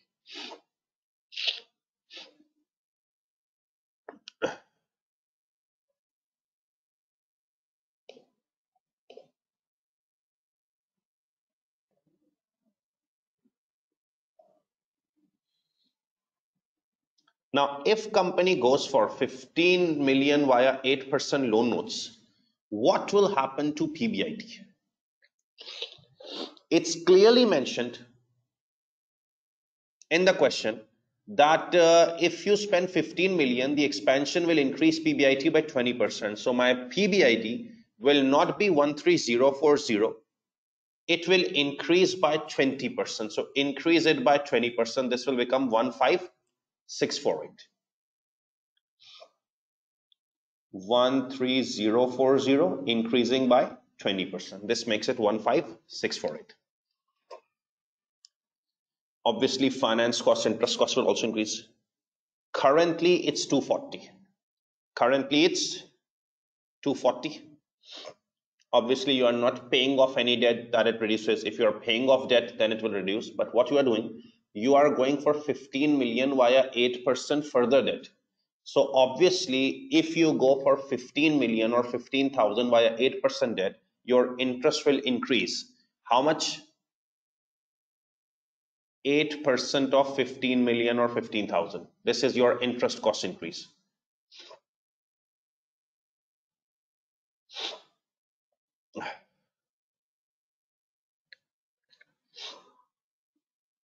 one double four zero interest will increase by 1200 obviously you are raising 1000 15000 15 million y 8 percent so 1200 interest will increase will become one double four zero.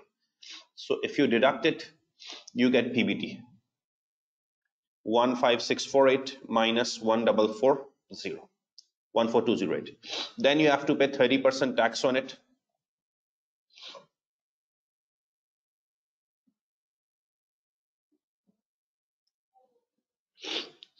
And you get PAT earnings 14208 minus 4262.4. This is the updated PNL if you go for debt. Okay, you can note it and if you have any questions you can please ask.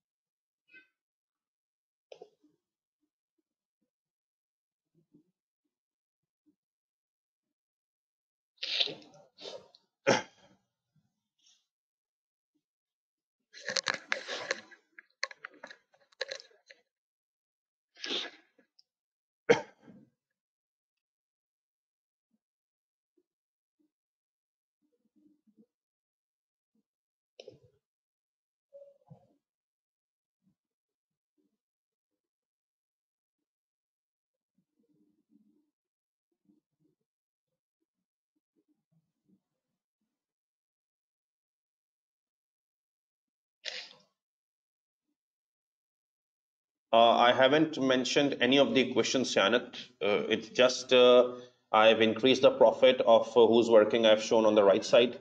Then the interest cost I've just added, and then to get the PBT I minused it, and then tax 30% and then PAT. I haven't connected any of the cell for ease.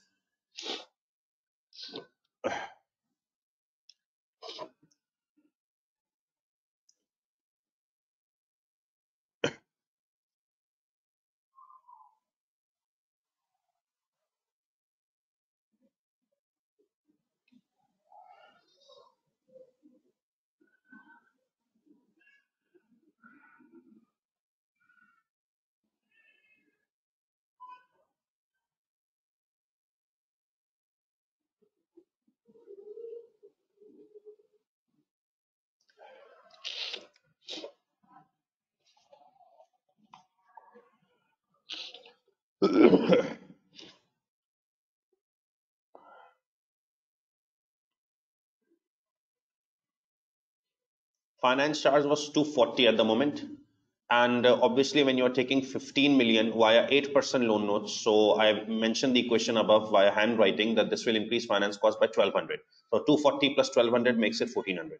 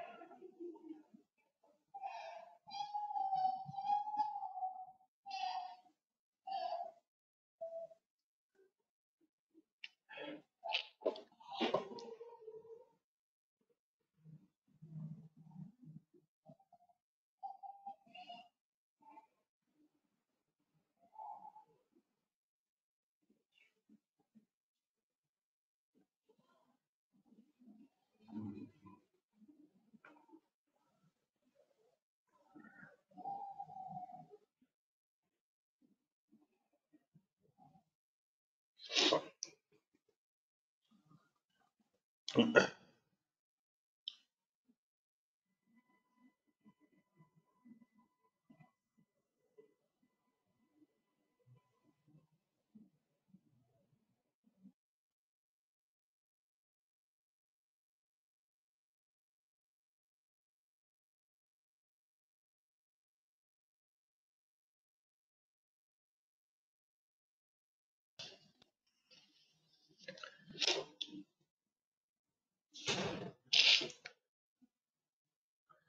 Okay, it was uh, evaluate whether company should go for debt or equity.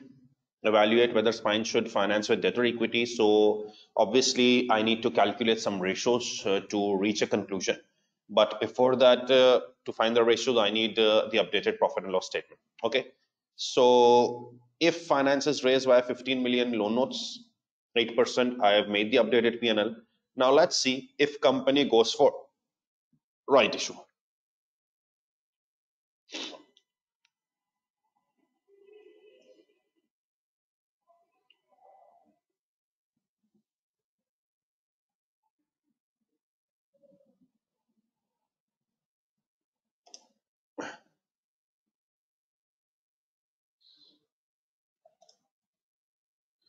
Okay, so if company goes uh, via right issue, it's very easy. What will be the position? The PBIT, which currently stands at 13040, since you are investing 15 million via uh, equity now, but investing 15 million, so profit will increase by 20%, 15648. But do you think now, if you are raising 15 million via right issue, your finance cost or interest cost has to increase. Obviously, no.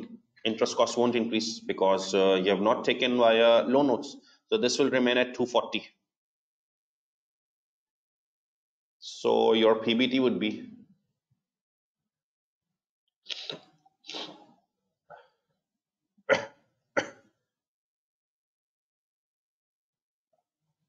one five four zero eight, and tax will be thirty percent.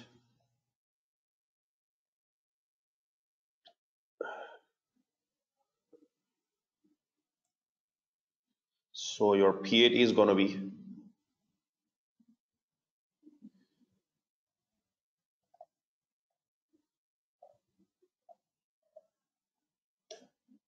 one zero seven eight five point six. This is if we raise finance via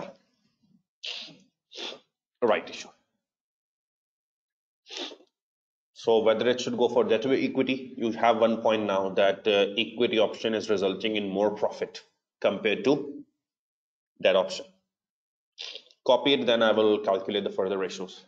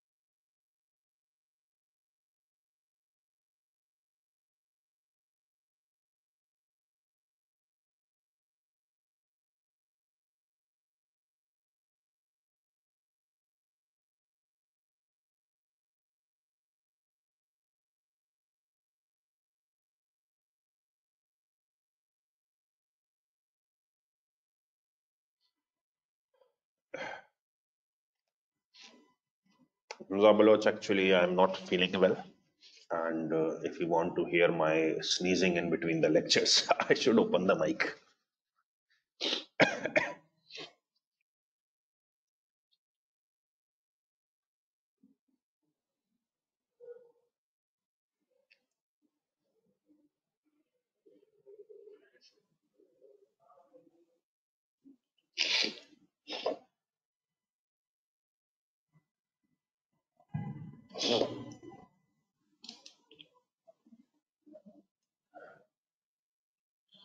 Okay, now we have done some calculations, but we are unable to answer that point at the moment that uh, we have not answered it yet, sorry, that uh, evaluate whether it should go for debt or equity, whether it should go for debt or equity.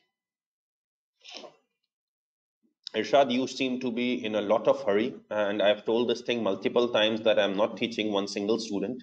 Obviously, there are questions of students as well, questions on WhatsApp as well, and uh, I have to answer everyone. And uh, there are not only fast learners in these classes, there are some slow learners as well. So if you are taking class in a group, I think you should uh, uh follow the pace which everyone goes. Uh, you keep on messaging and instructing, move to this part, please increase the speed, please, this is not good. So you are in a group class, so better follow what everyone's pace is doing. Else you can always have the recordings later. Don't attend these live classes in recordings. You can forward as per your own pace, but uh, in live classes, this can't happen. Thank you. Okay.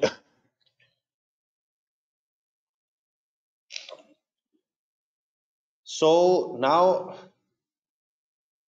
the thing is that we have not yet reached that conclusion that uh, whether we should go for uh, debt or equity. But uh, obviously, uh, everyone has this thing in mind that uh, to enable us to reach a conclusion whether we should go for debt or equity, we need to have some have some ratios. And for ratios, we need to have uh, updated data. So we have made the updated data going via loan notes and going via right issue. Okay. Now remember one thing. We will compute some ratios to decide whether it should go for debt or equity. Okay. But there is no formal rule which ratios you should compute because examiner hasn't mentioned this. Sometimes examiner says using financial gearing and EPS decide we should uh, go for what option. So you have to compute those ratios or calculate share price to decide which one should opt. Since examiner hasn't mentioned any ratio, so you can compute ratios as per your choice. Maybe you will compute some other ratios apart from mine, but we will compute some ratios and decide whether it should go for loan notes or right issue. But uh, whatever ratios we compute, since we have profits, I think we should compute EPS definitely. Okay, we should compute EPS definitely.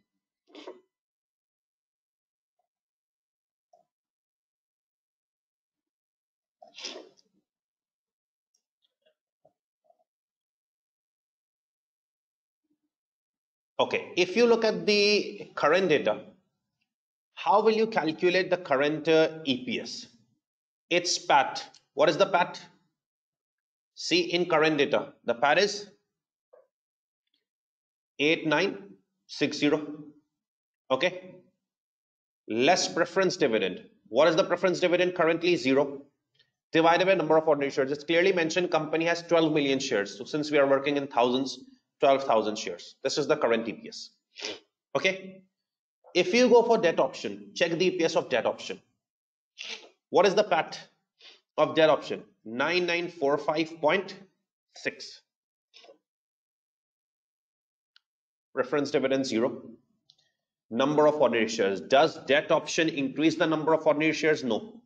So number of ordinary shares will still stand at 12 million, 12,000. 0.8288. Okay but EPS under equity option. What is the PAT under equity option? 10785.6 minus preference dividend 0 divided by number of ordinary shares. Equity increases number of ordinary shares. You have 12,000 shares. You have 12,000 shares.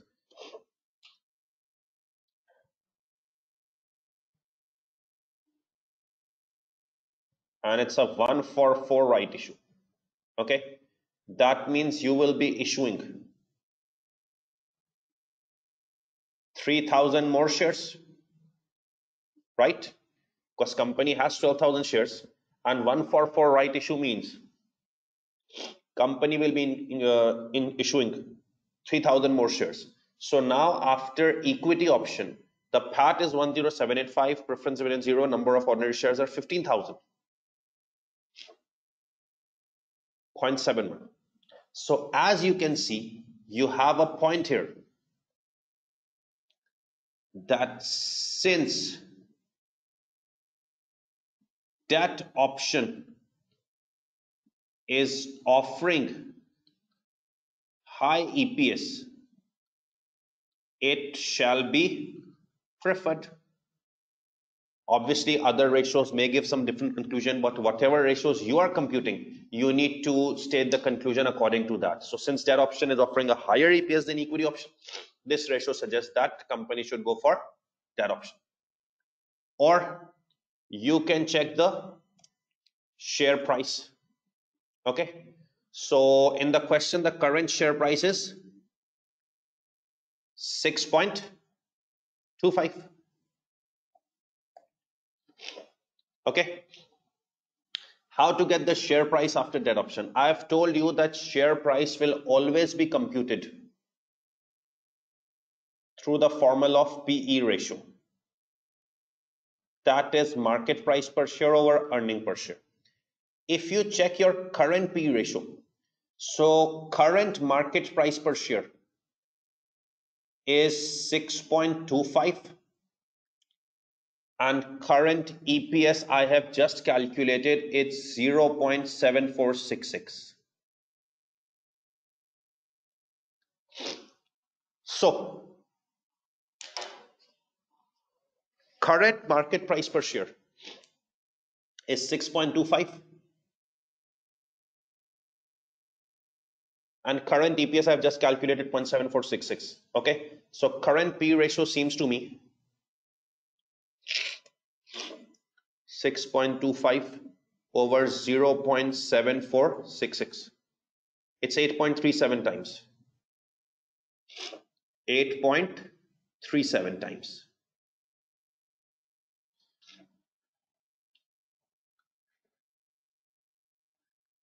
Now, if you raise finance via debt or equity, that doesn't change P ratio.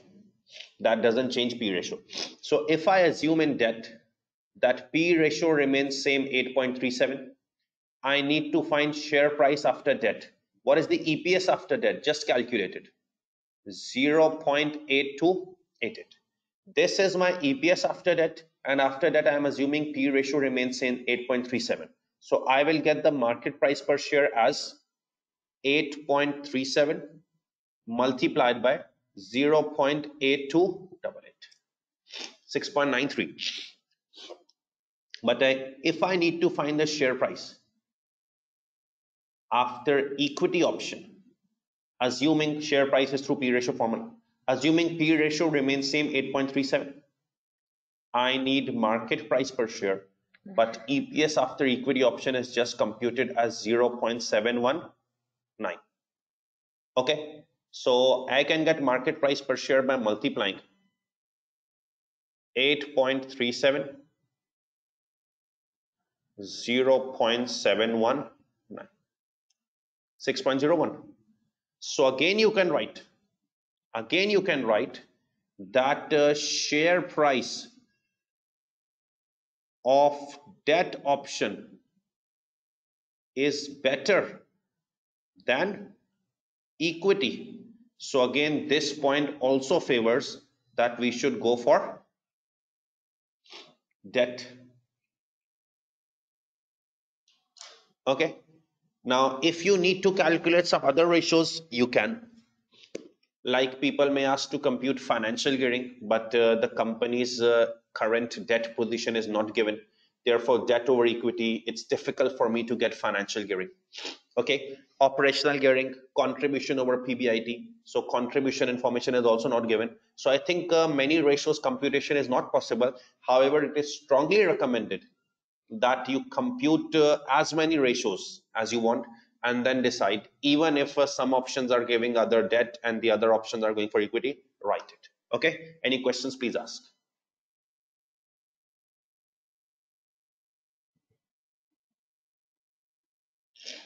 Yes Fazan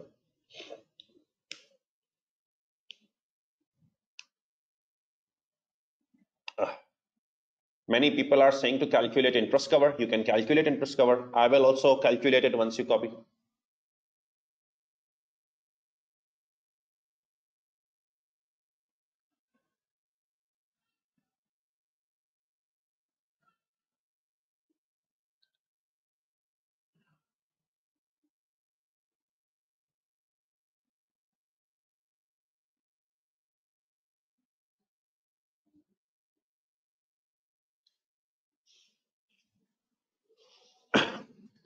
Uh, then it is uh, never recommended to just take the decision on one ratio only. Obviously, at least you should get two ratios in sight.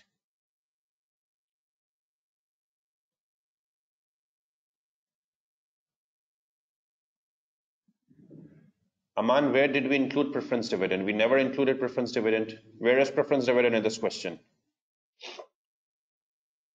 Yes, Fazan, I've answered you. You have to.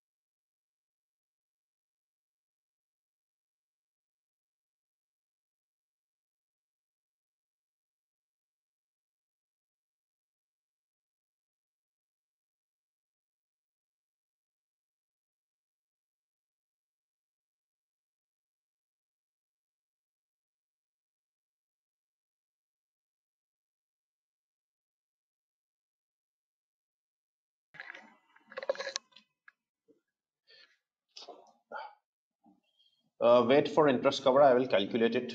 Let people do the stuff, then we will copy.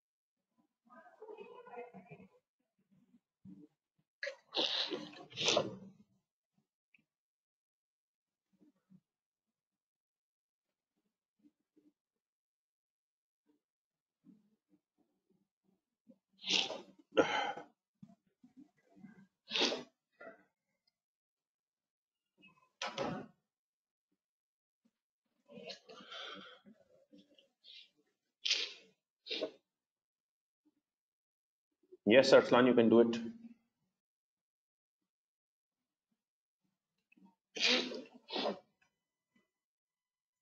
Okay, we can also add one more ratio as uh, many students are saying, although I told you there is no formal rule.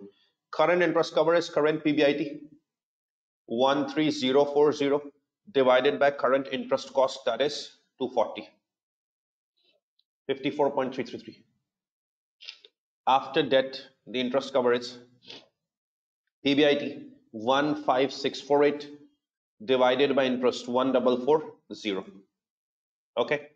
And after equity it's uh, PBIT 15648 divided by interest cost that's 240 65.2 okay? So obviously the higher the interest cover the better so as far as interest cover is concerned equity option looks good. Now there is a genuine expectation and a very invalid expectation among students that every ratio should give the same conclusion. How is it possible? Even if you calculate uh, npv irr ROCE and payback of a project is the project acceptable through all four techniques? Never. Some techniques may say this one is better. Some technique may say the other project is better. So eps and share price are saying that is better and interest cover is saying equity is better. So this can happen. Maybe you calculate another ratio it will give another conclusion. So out of these three ratios the majority are favoring debt. So still our conclusion remains the same that debt is better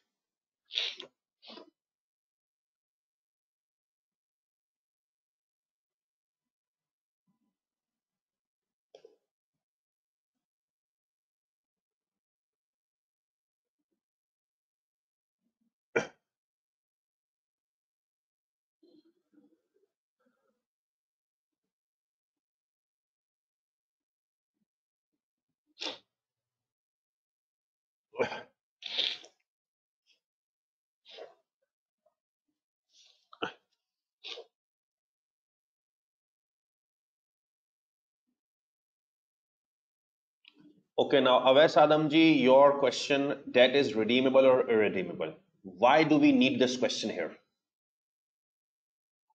In PNL, we need interest. Either it's redeemable, the interest will still come 8% of 15 million, either it's irredeemable. What you people do is that you people try to enter into such questions which are not needed. This is not a problem for me, this is a problem for you in the exam. That uh, there was no need of this question here that why whether debt is redeemable or redeemable. Frankly speaking, whatever it is, how it will affect your solution. It's not needed here.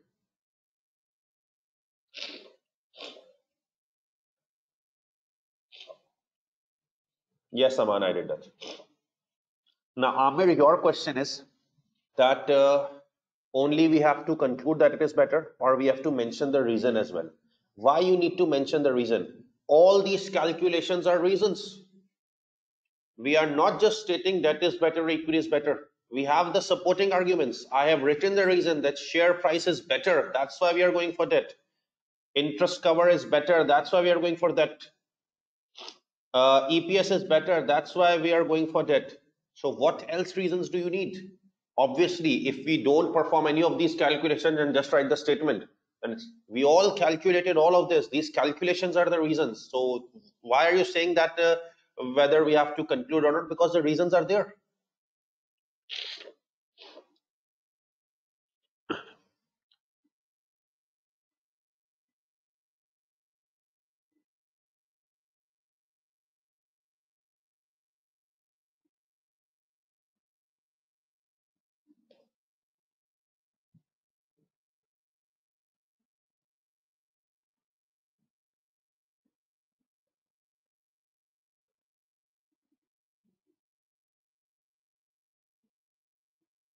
No, Amir, this is not F7, dear. This is financial management. you don't have to apply the stuff of F7 here.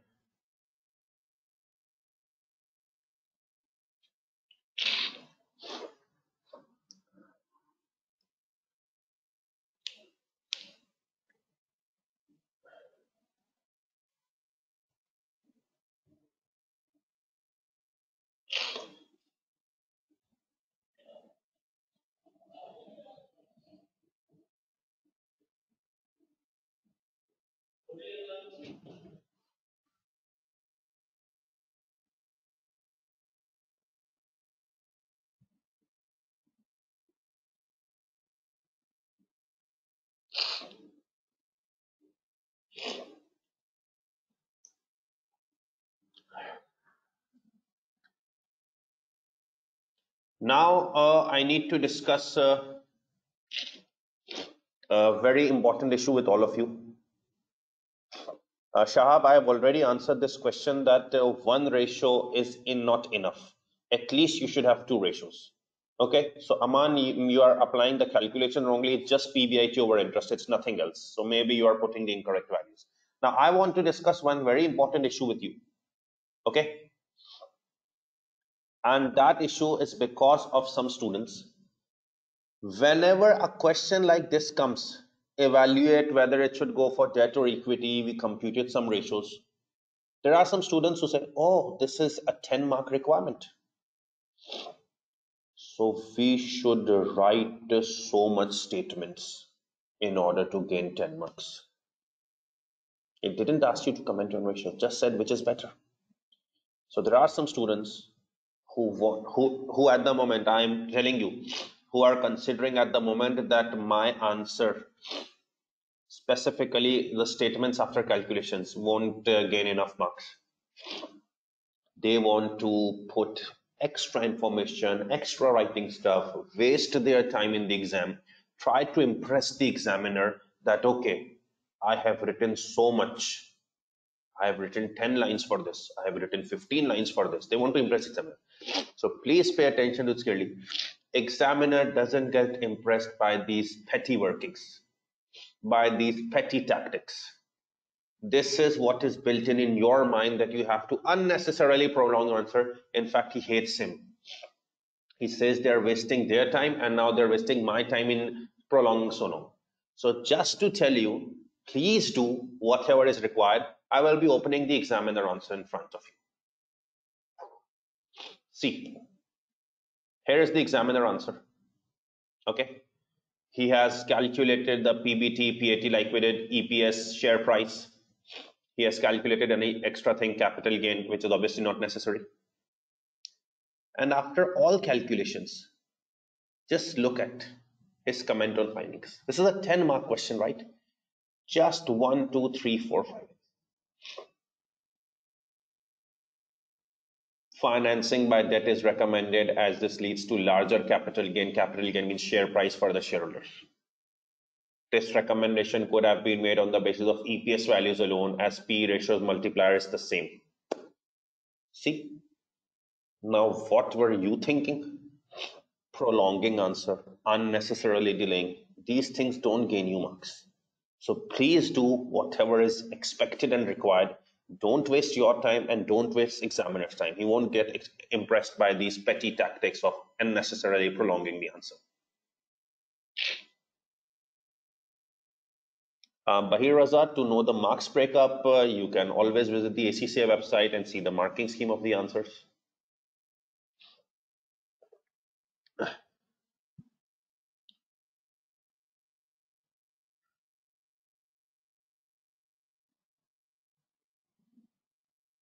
In fact, it's mentioned here.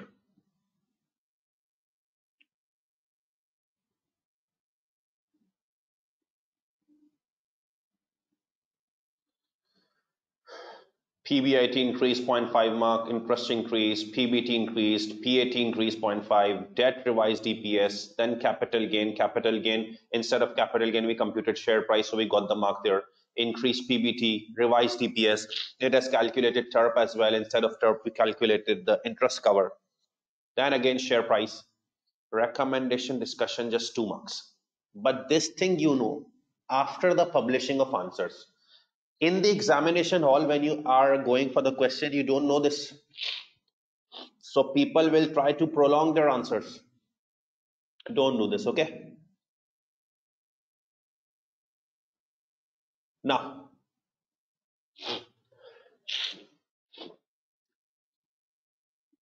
explain and discuss the relationship between systematic and unsystematic risk and discuss the assumptions made by capital asset pricing model.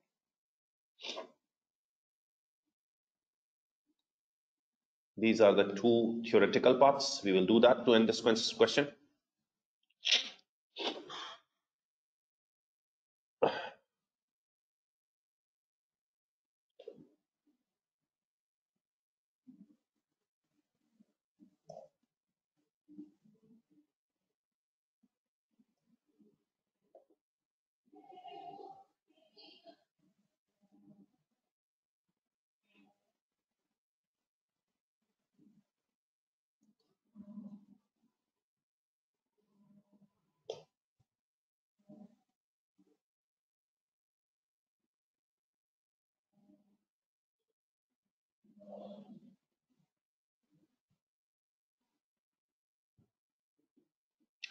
Okay. So first requirement and the second requirement, they will give you easy marks because they are straight uh, coming from the Kaplan text.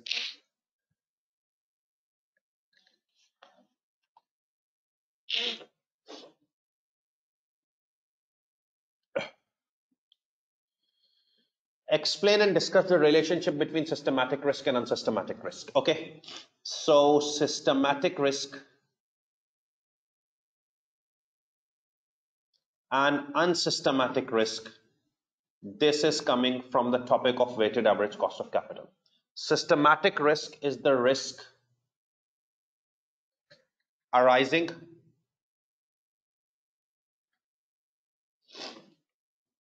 due to state of economy and cannot be diversified by investing in different portfolios or different sectors. Okay? Unsystematic risk is industry specific and can be diversified by investing in different sectors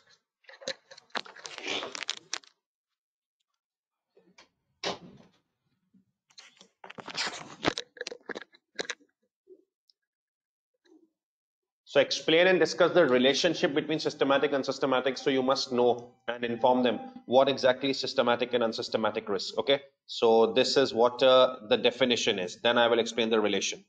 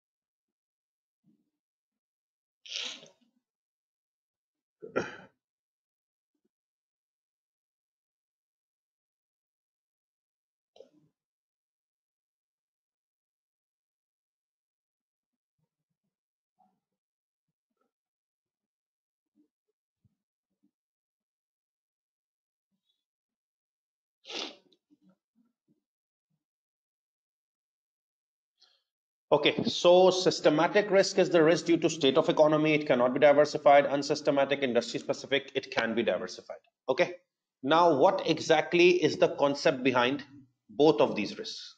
What exactly is the concept behind both of these risks?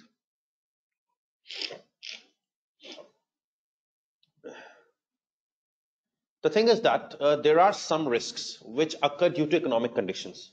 Okay, now, no matter you hold a diversified portfolio, invest in several different sectors. Obviously, if economy related risks arise, it will affect all sectors. So you cannot eliminate those risks. These are systematic risks. But unsystematic risks are industry specific. Like a specific sector gets down, cement sector gets down, oil prices go down. This is industry specific. If you hold a diversified portfolio, like you have investments in gold, oil, etc., you can diversify. Okay. Frankly speaking, there is no relationship between them okay if a company invests in maybe 10 15 different portfolios gold real estate currency forex stock markets obviously its unsystematic risk will go down but it will not have any impact on systematic risk because if economy collapses everything has to go down right? And if a company wants to get avoided from economic risk, the systematic risk, it is frankly not possible. So you should write the definition. When you write these definitions, you will get one one mark each. And then you need to state that there is no relation between systematic and unsystematic risk. If company invests in multiple portfolios, it will be able to diversify or eliminate this unsystematic risk, but economic risk will still pertain. It won't get uh, eliminated because of that. So it is difficult to prove any relation between these two types of risks.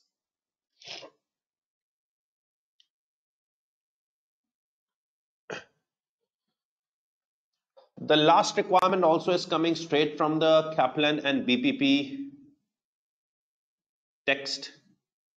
Okay if you have uh, gone through the text it's uh, i believe a very very easy mark scoring requirement. Discuss the assumptions made by capm assumptions or limitations are the same thing. So if you go and read the text the limitations and assumptions of capm are clearly mentioned here assumes risk-free rate of return remains constant. It does not change in between. Assumes beta factor remains constant. Only assumes that company will be working for next one year. You know, CAPM only bases its calculations for the next year. For future years, it don't have anything to work for because they only focus their calculations for the next one year.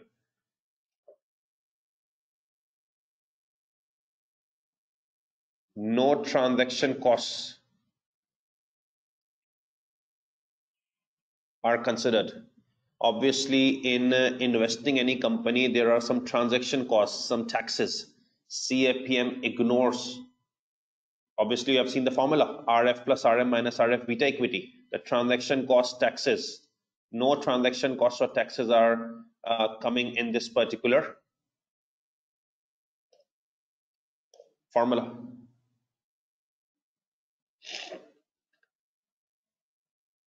investors hold a diversified portfolio. CAPM assumes investors have a diversified portfolio, so they are not facing any unsystematic risk. The only risk they are facing is systematic risk. CAPM cannot handle unsystematic risk.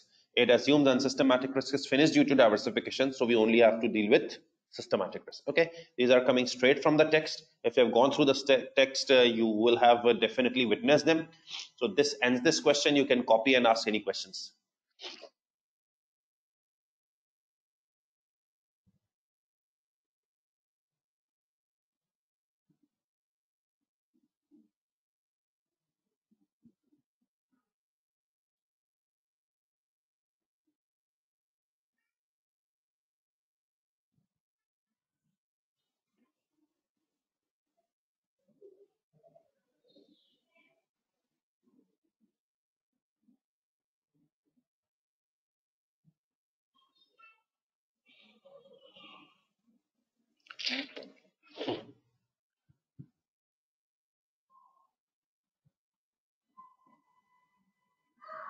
Yes, it cannot handle systematic risk.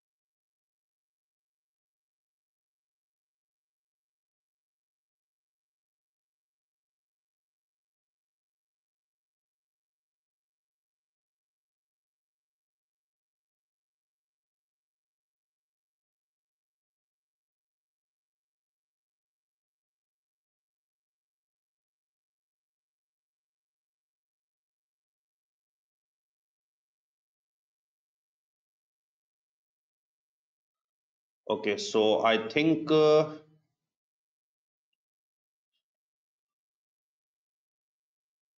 there are no further questions. So we will end it and there are one or two questions. I will answer them.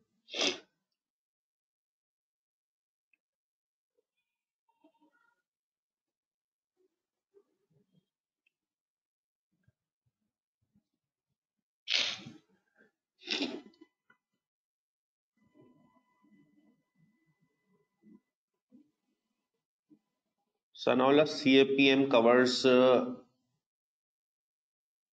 systematic or unsystematic. Okay, CAPM believes that uh, investors only hold uh, a diversified portfolio. So unsystematic risk has been eliminated. We have to only deal with systematic risk. Transaction cost is administration cost, Jawad. In the formula, there is no administration cost. Aisha, you are saying hello. So hi, what is the question, please?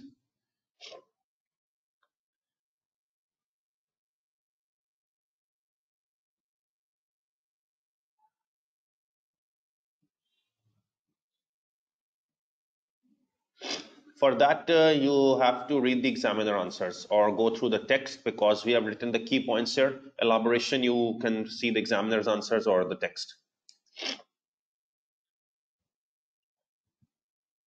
Uh, Faisal, you can contact me on WhatsApp.